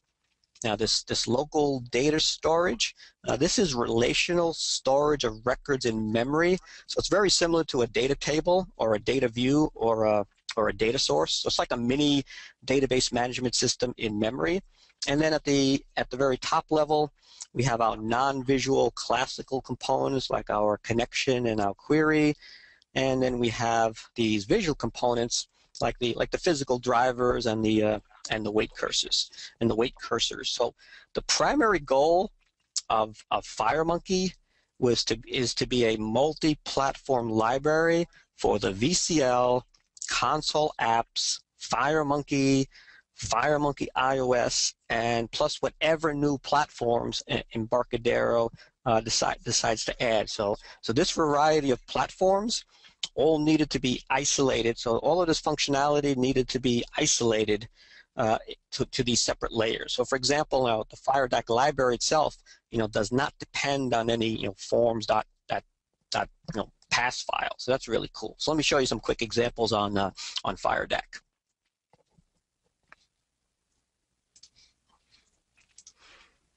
Just checking time. I think we're doing just fine. Uh, FireDAC. Uh, first, let me show you a, a VCL example. So on my box, I have a, I also have a, my, uh, a MySQL database. So the minimum components you need for FireDAC are, are just these three, know, these, these five right here. So I have, so I dropped a, a DB, this is a VCL application. I dropped a, a DB grid onto the form. I have a FireDAC. So if we look at these components, AD, you'll see all these FireDAC components on here. So you have a whole set of uh, FireDAC components on here. FireDAC UI, FireDAC links, FireDAC services. When you install FireDAC uh, into your IDE, you're going to see this FireDAC on the top here. And just like DB Express, so those are familiar with DB Express, right? I can come into DB Express. I can click on a uh, on a table. I could view it and get the information using DB Express. FireDAC, very similar. For FireDAC, also has an Explorer. In this case, I have some interbase database defined. I have my MySQL database defined. Log into MySQL. Take a look at some of its databases, like my osCommerce database. Take a look at some of the tables in there. So kind of works the same way. So FireDAC has an Explorer, DB Express has an Explorer. So uh, just like we do with DB Express, we drop components on here. So there's a there's an AD connection component and driver's name. I set it to MySQL. All the other database drivers already also supported under its parameters. You know, the minimum settings I need is for MySQL, the driver ID, uh, the location of this instance of MySQL. In this case, it's on my local host uh, the database I want to go after. In this case, it's my osCommerce and the, uh, the ID and the password of the database.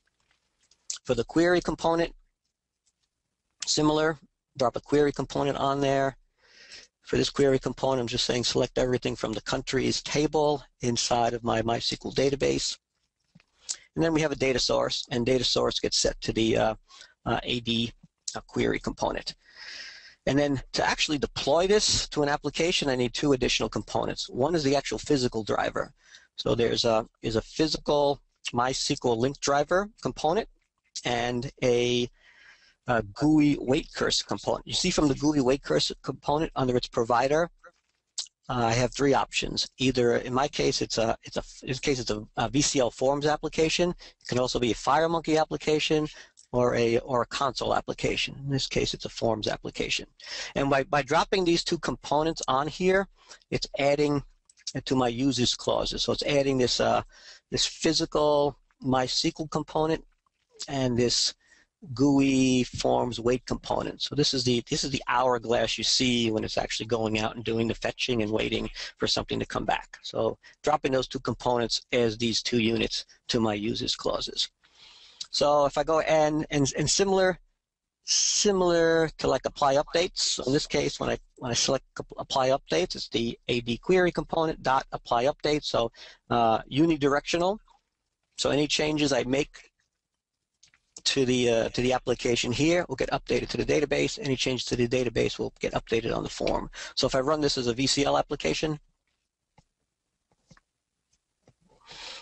uh, we see it here. And if I say make some changes, like country ID, maybe this becomes a 1. And I apply updates. So if I come out and I run it again, we'll see that the one uh, the one applies for me. So that's a quick look at uh, FireDAC using VCL, and the same thing works for iOS applications. Close all.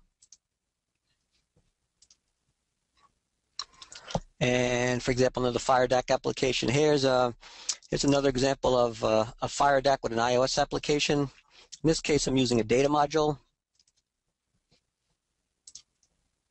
Same uh, same approach, and in this case, I'm going to an embedded interbase database. So I have my, my FireDAC connections here, embeddable interbase database, uh, query components. So this, this is similar to how we saw with the uh, RSS feeds application. I'm going out to a, I'll show you what the form looks like.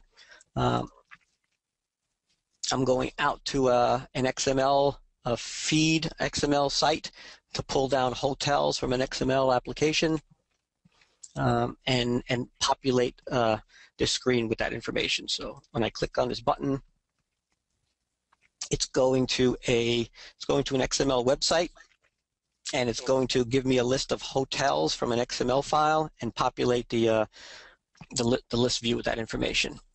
So it's going out to this going out to this site, grabbing this XML file, and just like we did with the RSS feeds, parsing the XML file, pulling out ho hotel information, and in this case, it's storing them into my embedded Interbase database on my device. So that's also very cool. Also, let me see. Let me do this to my actual device. Show you how this looks. Check it on time. Yeah, we're still fine. Run and run. So this is using FireDAC, an embeddable Interbase database, uh, using the Indy HTTP component with the XML document component to go out to a website, grab an XML document, parse the XML document, uh, looking for a list of hotels. In this case, it's going to uh, uh, uh Taiwan. So a lot, of, a lot of Unicode characters should come back uh, based on the based on their hotel names. And then the uh, once we once we see a hotel we like, we'll select it, and that'll get added into my embedded Interbase database. And then it gets added to my favorites list. So if I'm in that area again and I'm looking for a hotel, I can go to my favorite lists and uh, and take a look at the hotels I've been to, and then I can make comments on those hotels. And uh, uh, so next time I'm there, then I can share this information with, with, with other folks that I know who are also looking for hotels also. Here's this app running on my iPad 3. Uh, I can tell you what the first one is, uh, Westgate Hotel. So went out to the uh, went out to that XML, went out to that site, grabbed that XML document, parsed it, and displayed it in my uh, in my list. So now I can select one of these hotels. This is now doing like a master detail lookup. So when I select one of the hotels, it does a it does a master detail, and once again sends it to my Google Map, pass it the longitude and latitude of where that hotel is, and displays it on my on my map. So and then at this point, I can choose to uh, comment on it. I can make it one of my favorites, and this all gets embedded into my uh, embeddable Interbase database. So that's also very cool. Okay. All right, so that was an example of FireDAC with an embedded Interbase database on a uh, on an iOS uh, device. So once again, very very cool. Right, let me just turn off my, my iPad and we will continue. All right, so now that everybody loves what they saw about FireDAC, how do you actually go about getting FireDAC? So you can get FireDAC uh, these three ways. So you get, we, got, we got FireDAC for iOS only. So that's a free download for users of RAD Studio Pro, Delphi Pro with, with mobile add-on. You can also get FireDAC uh, for Windows, Mac, and iOS. That's also a free download for uh, registered users of RAD Studio, Delphi, and or C++Builder. Or you can purchase as a FireDAC client server add-on pack for, for RAD Studio, uh, Delphi, and or C++Builder Professional Edition. And uh, if you want to try it out now, we just came out with this new Delphi XE4 instant trial uh, that includes the, the FireDAC trial also. So this is just Delphi without, without RAD Studio. So if you want to try FireDAC with just Delphi XE4, uh, there's uh, up on our regular download site, you can now download XE4 instant trial that includes the FireDAC trial, and that's how you can get FireDAC and, and test it out yourself. All right, visual uh, live binding. So we, we saw some of this already uh, with the IB Lite application. Uh, with Delphi iOS, you can now use visual live bindings for um, rapid prototyping and, and binding controls to, to database columns and or binding controls to other control columns, you know, such as list boxes, edit boxes, labels. So, so for example, this this application is showing a uh, a master detail recipes type of application. Uh, it has, so we drop the recipes table onto the onto the form. Uh, we're inside of Visual Live Bindings. We see the recipe tables inside of Visual Live Bindings. On the actual application, we drop two list boxes. One is going to be my master list box. One is going to be my detail list box. So we're saying on the on the master box, I want the text item of my list box to be equal to the recipe name. And then on my second list box, I'm going to call it my detail list box. So when I select an item from my first list box, send it over to my second tab, which has my list box one. And on there, I want to display not only the title, but the subtitle and the description of it. And then um, other other controls I dropped onto the forms, you know, some memos and the, the values, the text values inside those memos, I set them to be specific columns of, from my from my database. So we can take a look at some uh, visual live bindings examples now.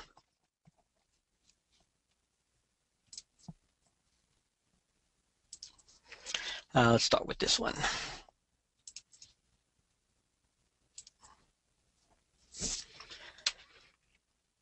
So for this application, I set up, have it set up as an iPad in horizontal, and I dropped two. Uh, I, I dropped two uh, two layouts out here. I have a, I have a, I have my left layout and my my right layout. On my left layout, I dropped a I dropped a list view, and on my right layout, I have some uh, I have a memo component. It has some labels and and images and I added hi higher higher date here also.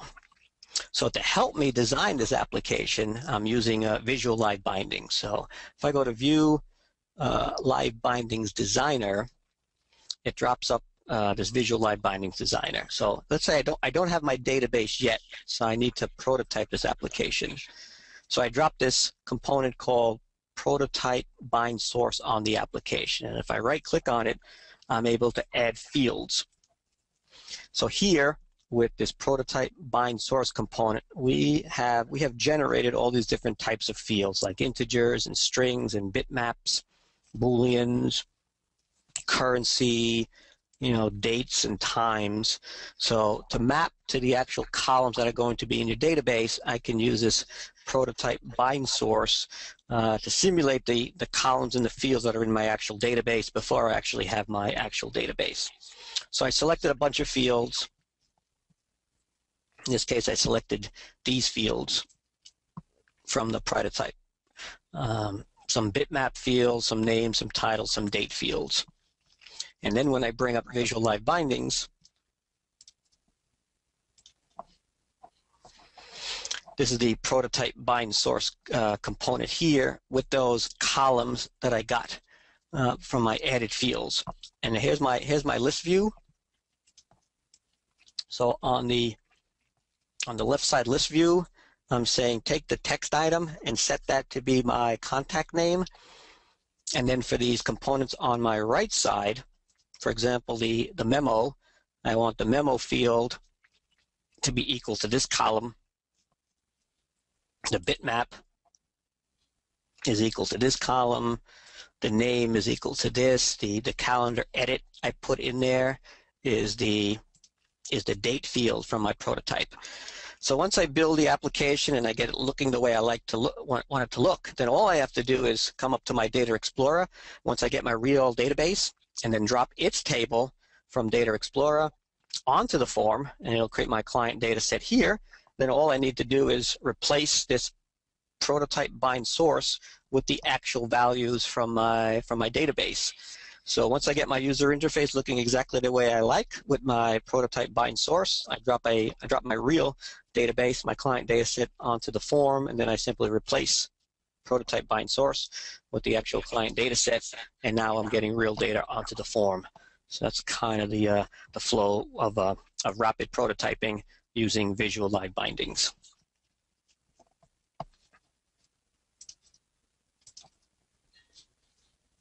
All right, let me continue. All right, DataSnap. So DataSnap uh, has been around for, for quite a while now.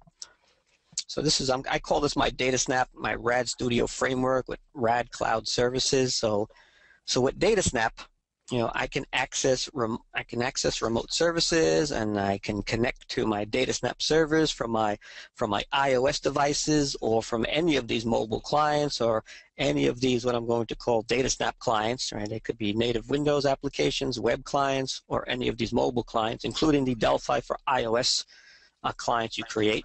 DataSnap also has mobile connectors, so I can have a Windows phone, a BlackBerry, uh, a PHP, HTML5, a Microsoft .NET C Sharp application. They can all they all know how to connect to a to a DataSnap service, access those methods you have inside of a DataSnap service, call those methods. They can also get to any of these backend uh, databases, and they can return that information uh, back to the calling client. Now, these DataSnap services are very lightweight, very small, so they're already certified both the DataSnap service and an Interbase database, they're already certified uh, to exist inside of cloud services. So you can take a DataSnap service uh, with an Interbase database, and in a in an in a micro instance, the smallest instance you can you can have on a cloud service, either an Amazon or or Windows Azure cloud, you can host them on a on a cloud instance, and then you can have your users connect to the DataSnap service in the cloud, access its methods, get to the backend database, return the results to the uh, to the calling client. So why is this multi-tier on on iOS so important? Because on these on these iOS devices, uh, you have very limited uh, RDBMS client libraries on the iOS device. So, for example, there is no, you know, Microsoft SQL Server client library you can put on an iOS device. So the only way an iOS device is going to get to a backend Microsoft SQL Server database is either go through a web service or go through our DataSnap service. And and you cannot deploy a uh, a Mac dylib file. That's the Mac equivalent of a DLL into an app package uh, for the App Store. Apple just does not allow that. So you have very limited database connectivities on an iOS device. So the good news is by using a a DataSnap server with your Delphi for iOS client, you can use that as your unified conduit to get to any backend database and return the results back to the uh, to the calling device. So that's also very cool. So let's take a look at some uh, um, applications. Uh, first one I want to show you is a, a mobile, a Delphi iOS application connecting to a DataSnap service that's sitting up in an Amazon uh, EC2 cloud. So this is a, I'm going to call this a, a, chat application, very similar to the chat window you're seeing in your in your GoToWebinar meeting now. You you select either an individual, send that individual privately a message, or you can send messages to the whole group. So uh, we did the same thing using this uh, application we call FireChat. And let me show you what this looks like.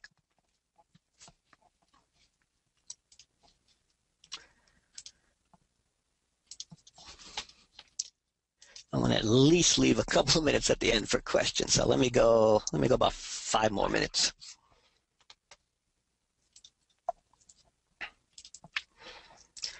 So those of you who are unfamiliar with DataSnap, DataSnap's been in the Enterprise Edition or or or above for quite a while now. So under New, Other, uh, DataSnap service can be created either on, in C++ Builder, DataSnap service, or under Delphi uh, DataSnap service. So you have several examples of DataSnap service here, such as a DataSnap REST uh, application can be created, which is what I did in my case. So you run through this wizard, it creates this skeleton uh, DataSnap service. With the with the files that get created is a is a server file, and inside the server file is where you put your methods that you want to expose Inside the server methods file, here's where you put your methods that you want to expose to the calling client. So in this case, I exposed a, a few methods here. So I have one method called uh, get user list, and this is going to return the names of all the users actively logged in.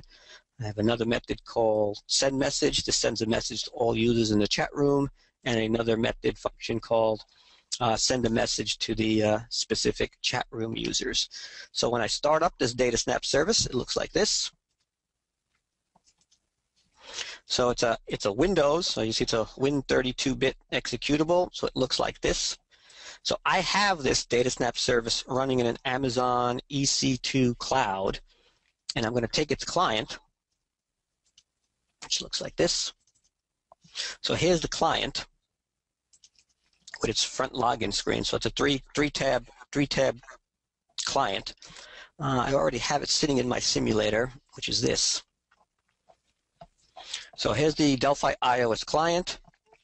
Uh, right now, the DataSnap service is running in this Amazon EC2 cloud at this IP address, listening in on, this port.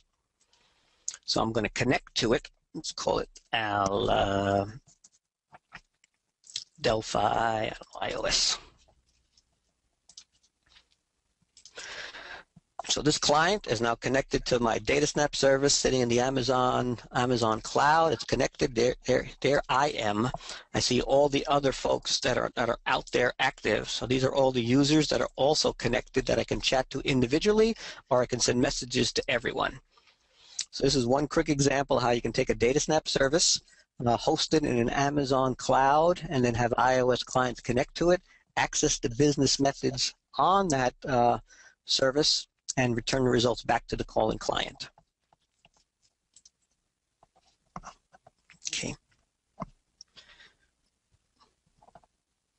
And, and now we can extend the DataSnap service and have it connect to backend database.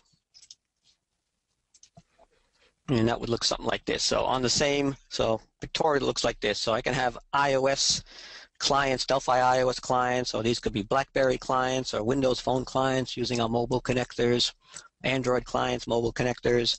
They all know how to connect to this DataSnap service, access the methods on a DataSnap service, return the results back to the calling client, uh, JSON objects get returned name value pairs, so we parse those JSON objects and display the results. Uh, web front end clients like a like an HTML5 web page can also connect to a DataSnap service, access the methods, return results back to the client. I can also have DataSnap services using the FireDAC connectors connect to backend remote databases. So let's say on this DataSnap service, I have a function called get records and knows how to connect to my backend database and return results back to the client. Another great part of DataSnap is I can add uh, compression and security filters. Uh, so as the data is going over the wire, it's compressed and it's encrypted, so it's very safe and secure. So that's all part of, of DataSnap also. All right. Uh, native and custom styling. So uh, by default, you have your you have your uh, you know, iOS default you know, style that we give you out of the box. Uh, you can also add custom styling to the application. So we have a style sheet. You can take a style sheet. This is called like a jet, a jet style. You can apply it to your iOS application, and that gets uh, submitted uh, to your application, both Retina and and non-Retina display. So there's a there's a property uh, called Style Book. You drop that onto the form, you load a style, you load the style sheet into the application, and then the, the form inherits the style like, like we see here. We can also do native and custom styling for, for tab icons. So the, the tabs that you put onto your application. So we include the standard uh, tabs and these standard tab items, but you can create your own uh, custom tab icons, both uh, non-retina and retina display, uh, standard resolution, high resolution, and those can get deployed uh, with your app application also. Uh, for layout managements, we fully support all of the alignments, the anchors, the form family. Form family, this gets guessed a lot. You know, if I'm on an iPhone or an iPad, you got much more real estate on an iPad, so you can have multiple uh, you know, on an if you know you can check you can check what device you're running on. If it's an iPhone, then display this user interface. If it's running on an iPad, which much more real estate, then I can choose to display a much larger form on that on that device, and that's done using this this form family property. Uh, fully support all the uh, all the gestures like swipe and and tap and pinch and zoom, tap and hold, and, and double click. So that's also supported. So how that's going to work. So for example, on my form, I drop a I drop an image on the form. I add this gesture manager, a component onto it. And then inside, uh, I have a touch property. I set the touch property to be equal to my gesture manager component. And then on the interactive gestures, I can enable zoom, pan, rotate, two finger tap, press and tap, double tap, and long tap. So for example, if in this case I enable zoom on the gesture event, we're going to calculate where we were and where we want to be, and then we'll we'll zoom in and zoom out as as needed. Uh, we also have extended action support. So uh, for accessing the camera app and for doing uh, slide transitions for tab items, we, we, we implemented this through, through action lists. So through action lists, we added extended action support for the camera, camera roll, share sheet, and slide transactions for accessing the camera, accessing retrieving from the camera roll, uh, the share sheet functionality, which gets you to you know take a picture.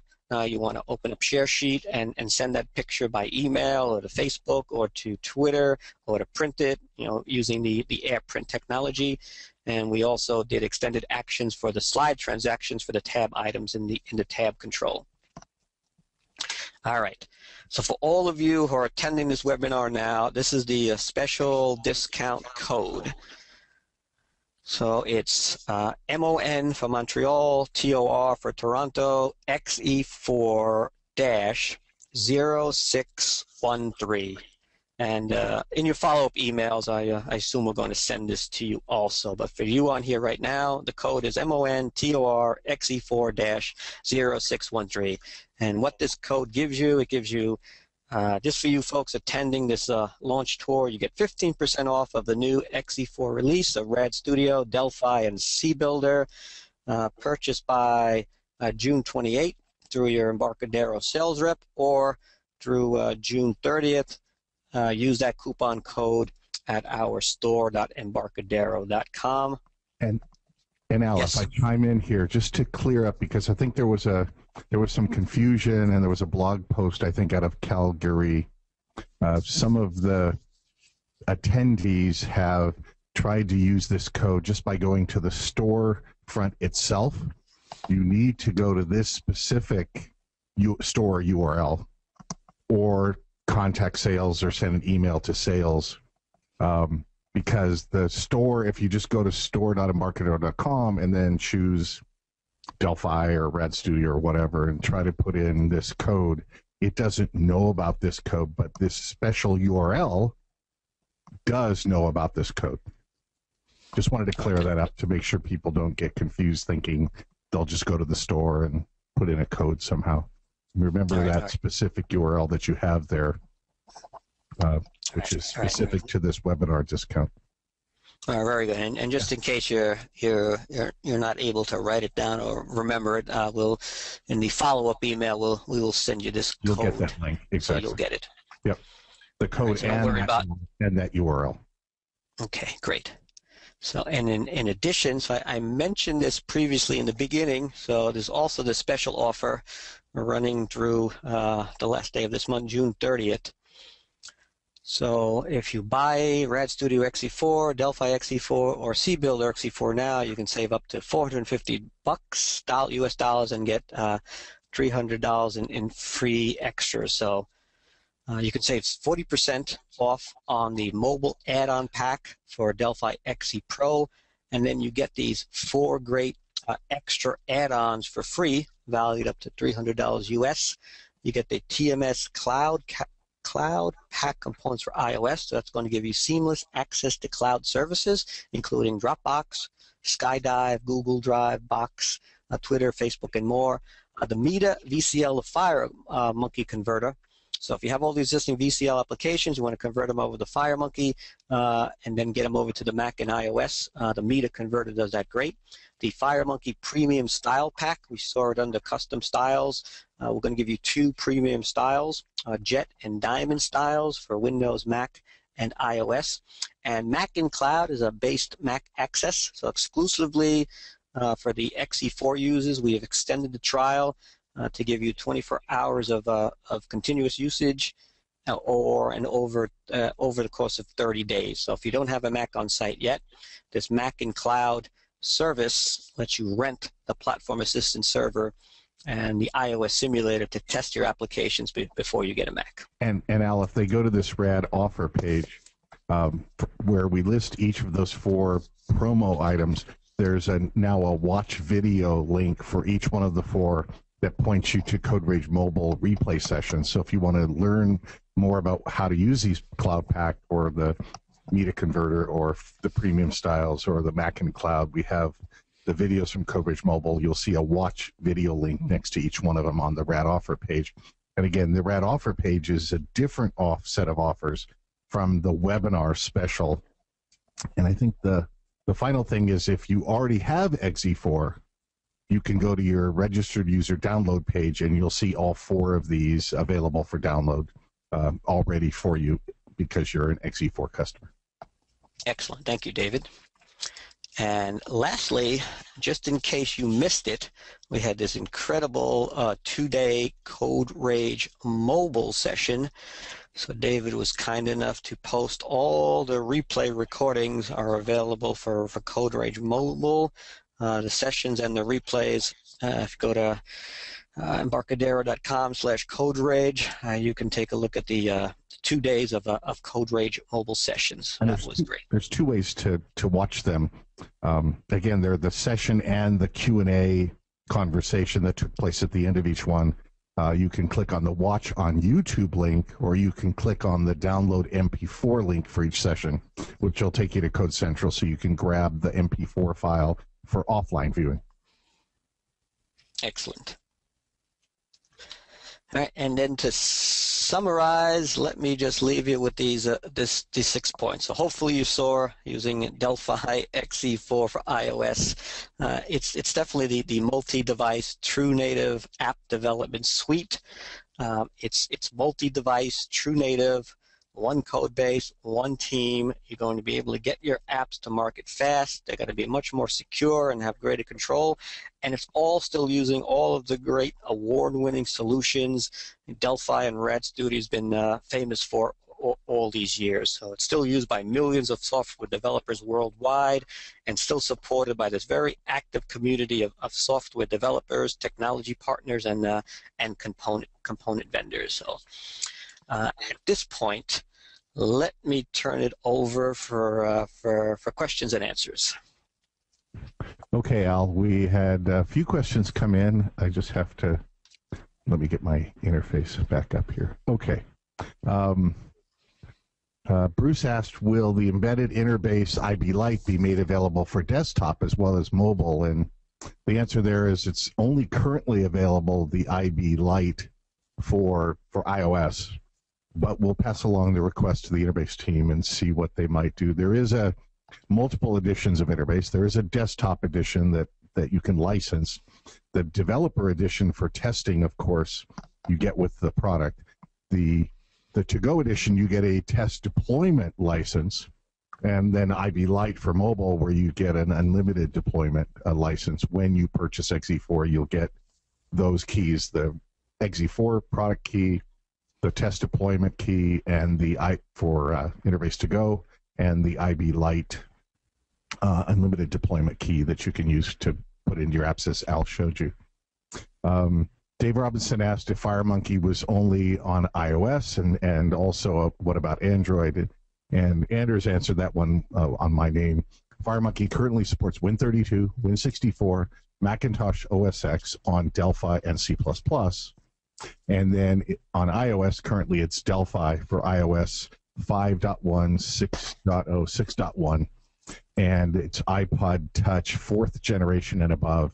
Uh, and it works on all the uh, iPhones and iPads that will run 5.1, 6.0, and 6.1, including my old uh, iPhone 3GS. When we moved to iOS 7, Anders, I think Apple announced it's only, what is it, iPhone 4 and above, and I, any iPad? I'm trying to remember what they announced at WWDC. Uh, yeah, that'll be. Um, I think that'll become clear uh, once they actually ship as well. Okay. But I believe so. and Android is later this year for Delphi and C++. Um, Bruce asked, "How do we connect to DataSnap servers from .NET?" Uh, and I answered that, and Al, you're the expert as well in the whole uh, world of uh, DataSnap and .NET and HTML5 and so on. But you can You can use Yes, data. I can. I'll, I'll, Talk about the mobile. yes, yeah. connector. uh, It's a standard, you know, a standard uh, C sharp REST client call. DataSnap REST server with a standard C sharp REST call can connect to that DataSnap service, and I, uh, I'll, I'll send you some examples on how we do that. Yeah, so that's, that's using the mobile connector technology. You can use uh, PHP, Delphi, C++, C Sharp, Java, BlackBerry, Java, uh, Android, and HTML5 builder through PHP, and I think it goes through a curl runtime library or something to do REST calls and do the JSON uh, parsing of the parameters sent in and the result coming back. And Al has videos and code rage sessions, and we have documentation for how you can connect to DataSnap service via REST across a whole wide range. Al's got videos on BlackBerry and uh, Android as well using Java. Correct. Yeah. So for Yeah. all, all of those devices, right, BlackBerry, Windows Phone, Android, and, and iOS, we have mobile connectors, which gives you all the helper classes that knows how to connect to the DataSnap service. It knows about all the methods on this DataSnap service. It knows how to return uh, those items back to the calling client, as David mentioned, as, as JSON objects that you can yeah. parse and, uh, and, and use in the device. Well, you can also use JavaScript. So you there's a JavaScript. Correct. That is correct. As well. Yeah. So those were the questions that were queued up that we sort of triaged a little bit along the way. If you have other questions, just put them into the Q and A log. And I know Al, we're a few minutes over, but uh, Anders and I are hanging tight here in Scotts Valley. Excellent. The only other comment maybe I'll make real quick is that again, don't be confused by other products that do multi-platform, multi-mobile. Uh, in the case of Delphi iOS, it's real native code. One of the demos I show sometimes is a I set a breakpoint on a button in an iOS application in Delphi, and then I run it in the simulator and I bring up the CPU viewer. It shows me Intel code because that's what the compiler for the simulator uses. Then I change the target to iOS device and I and I run the application, click the button on my device. It stops in the in the source code at the breakpoint. I bring up the CPU viewer, and it's got Android machine code and Android registers, or, or sorry, ARM. that was so stupid. ARM instructions and ARM registers. I was getting ahead of myself for for yes, you were. but in any case, because we have both the Delphi iOS Intel compiler for the simulator, we also have a Delphi ARM compiler. Uh, the debugger and the comp- optimizing compiler, it all is native code on each of the platforms that we run on.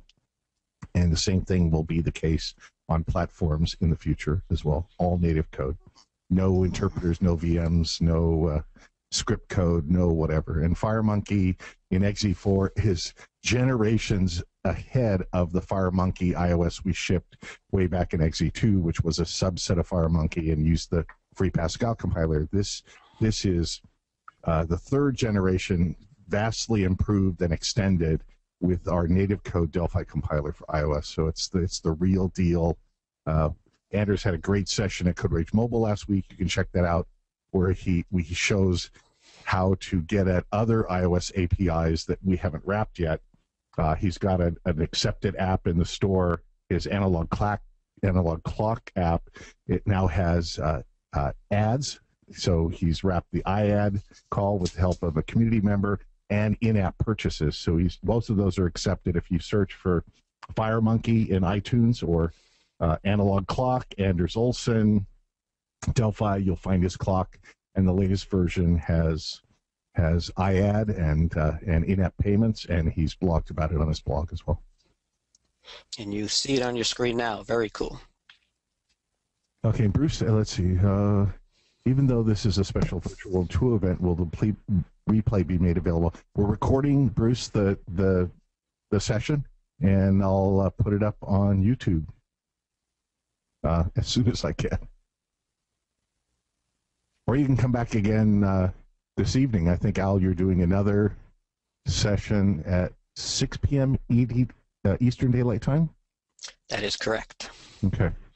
And, and the important point, right? Right now we're doing iOS, but when we release Android, everything I did now for iOS, you know, from that same code base, I will simply target Android and and rebuild and be able to deploy to Android devices. So Uh, you get iOS today, but everything I do right now for iOS, I'm going to be able to reuse for Android once we add Android as a target platform. So that's very exciting. And that code, one last thing on the code, that code is only available to people who attend the webinar, this one and the one later this day. Well, the other thing Anders has as a replay in CodeRage Mobile is he goes through the whole process of creating an app, uploading it, and goes through all the steps of how you submit and put and update and how you get messages back and sometimes terrible rejections from Apple. Uh, he's got a whole session on how to build an app and put it into the store. Let, let me thank you all for attending. Uh, I, I hope you all enjoyed as much as I enjoyed presenting it. And I'm going to leave you with this one last note on, on, on security and control. You know, there's, there's many app development vendors out there enabling this multi-platform development, but they're using these scripting languages and these, and these runtimes, which are very notorious for, for hacker targets. And they, they present these very inherent security risks on these on these mobile devices. With with, with Rad Studio XE4, you really get these true native apps. So your code runs directly on the device, you know, reducing any risk of any third-party attacks. So that, that's very important.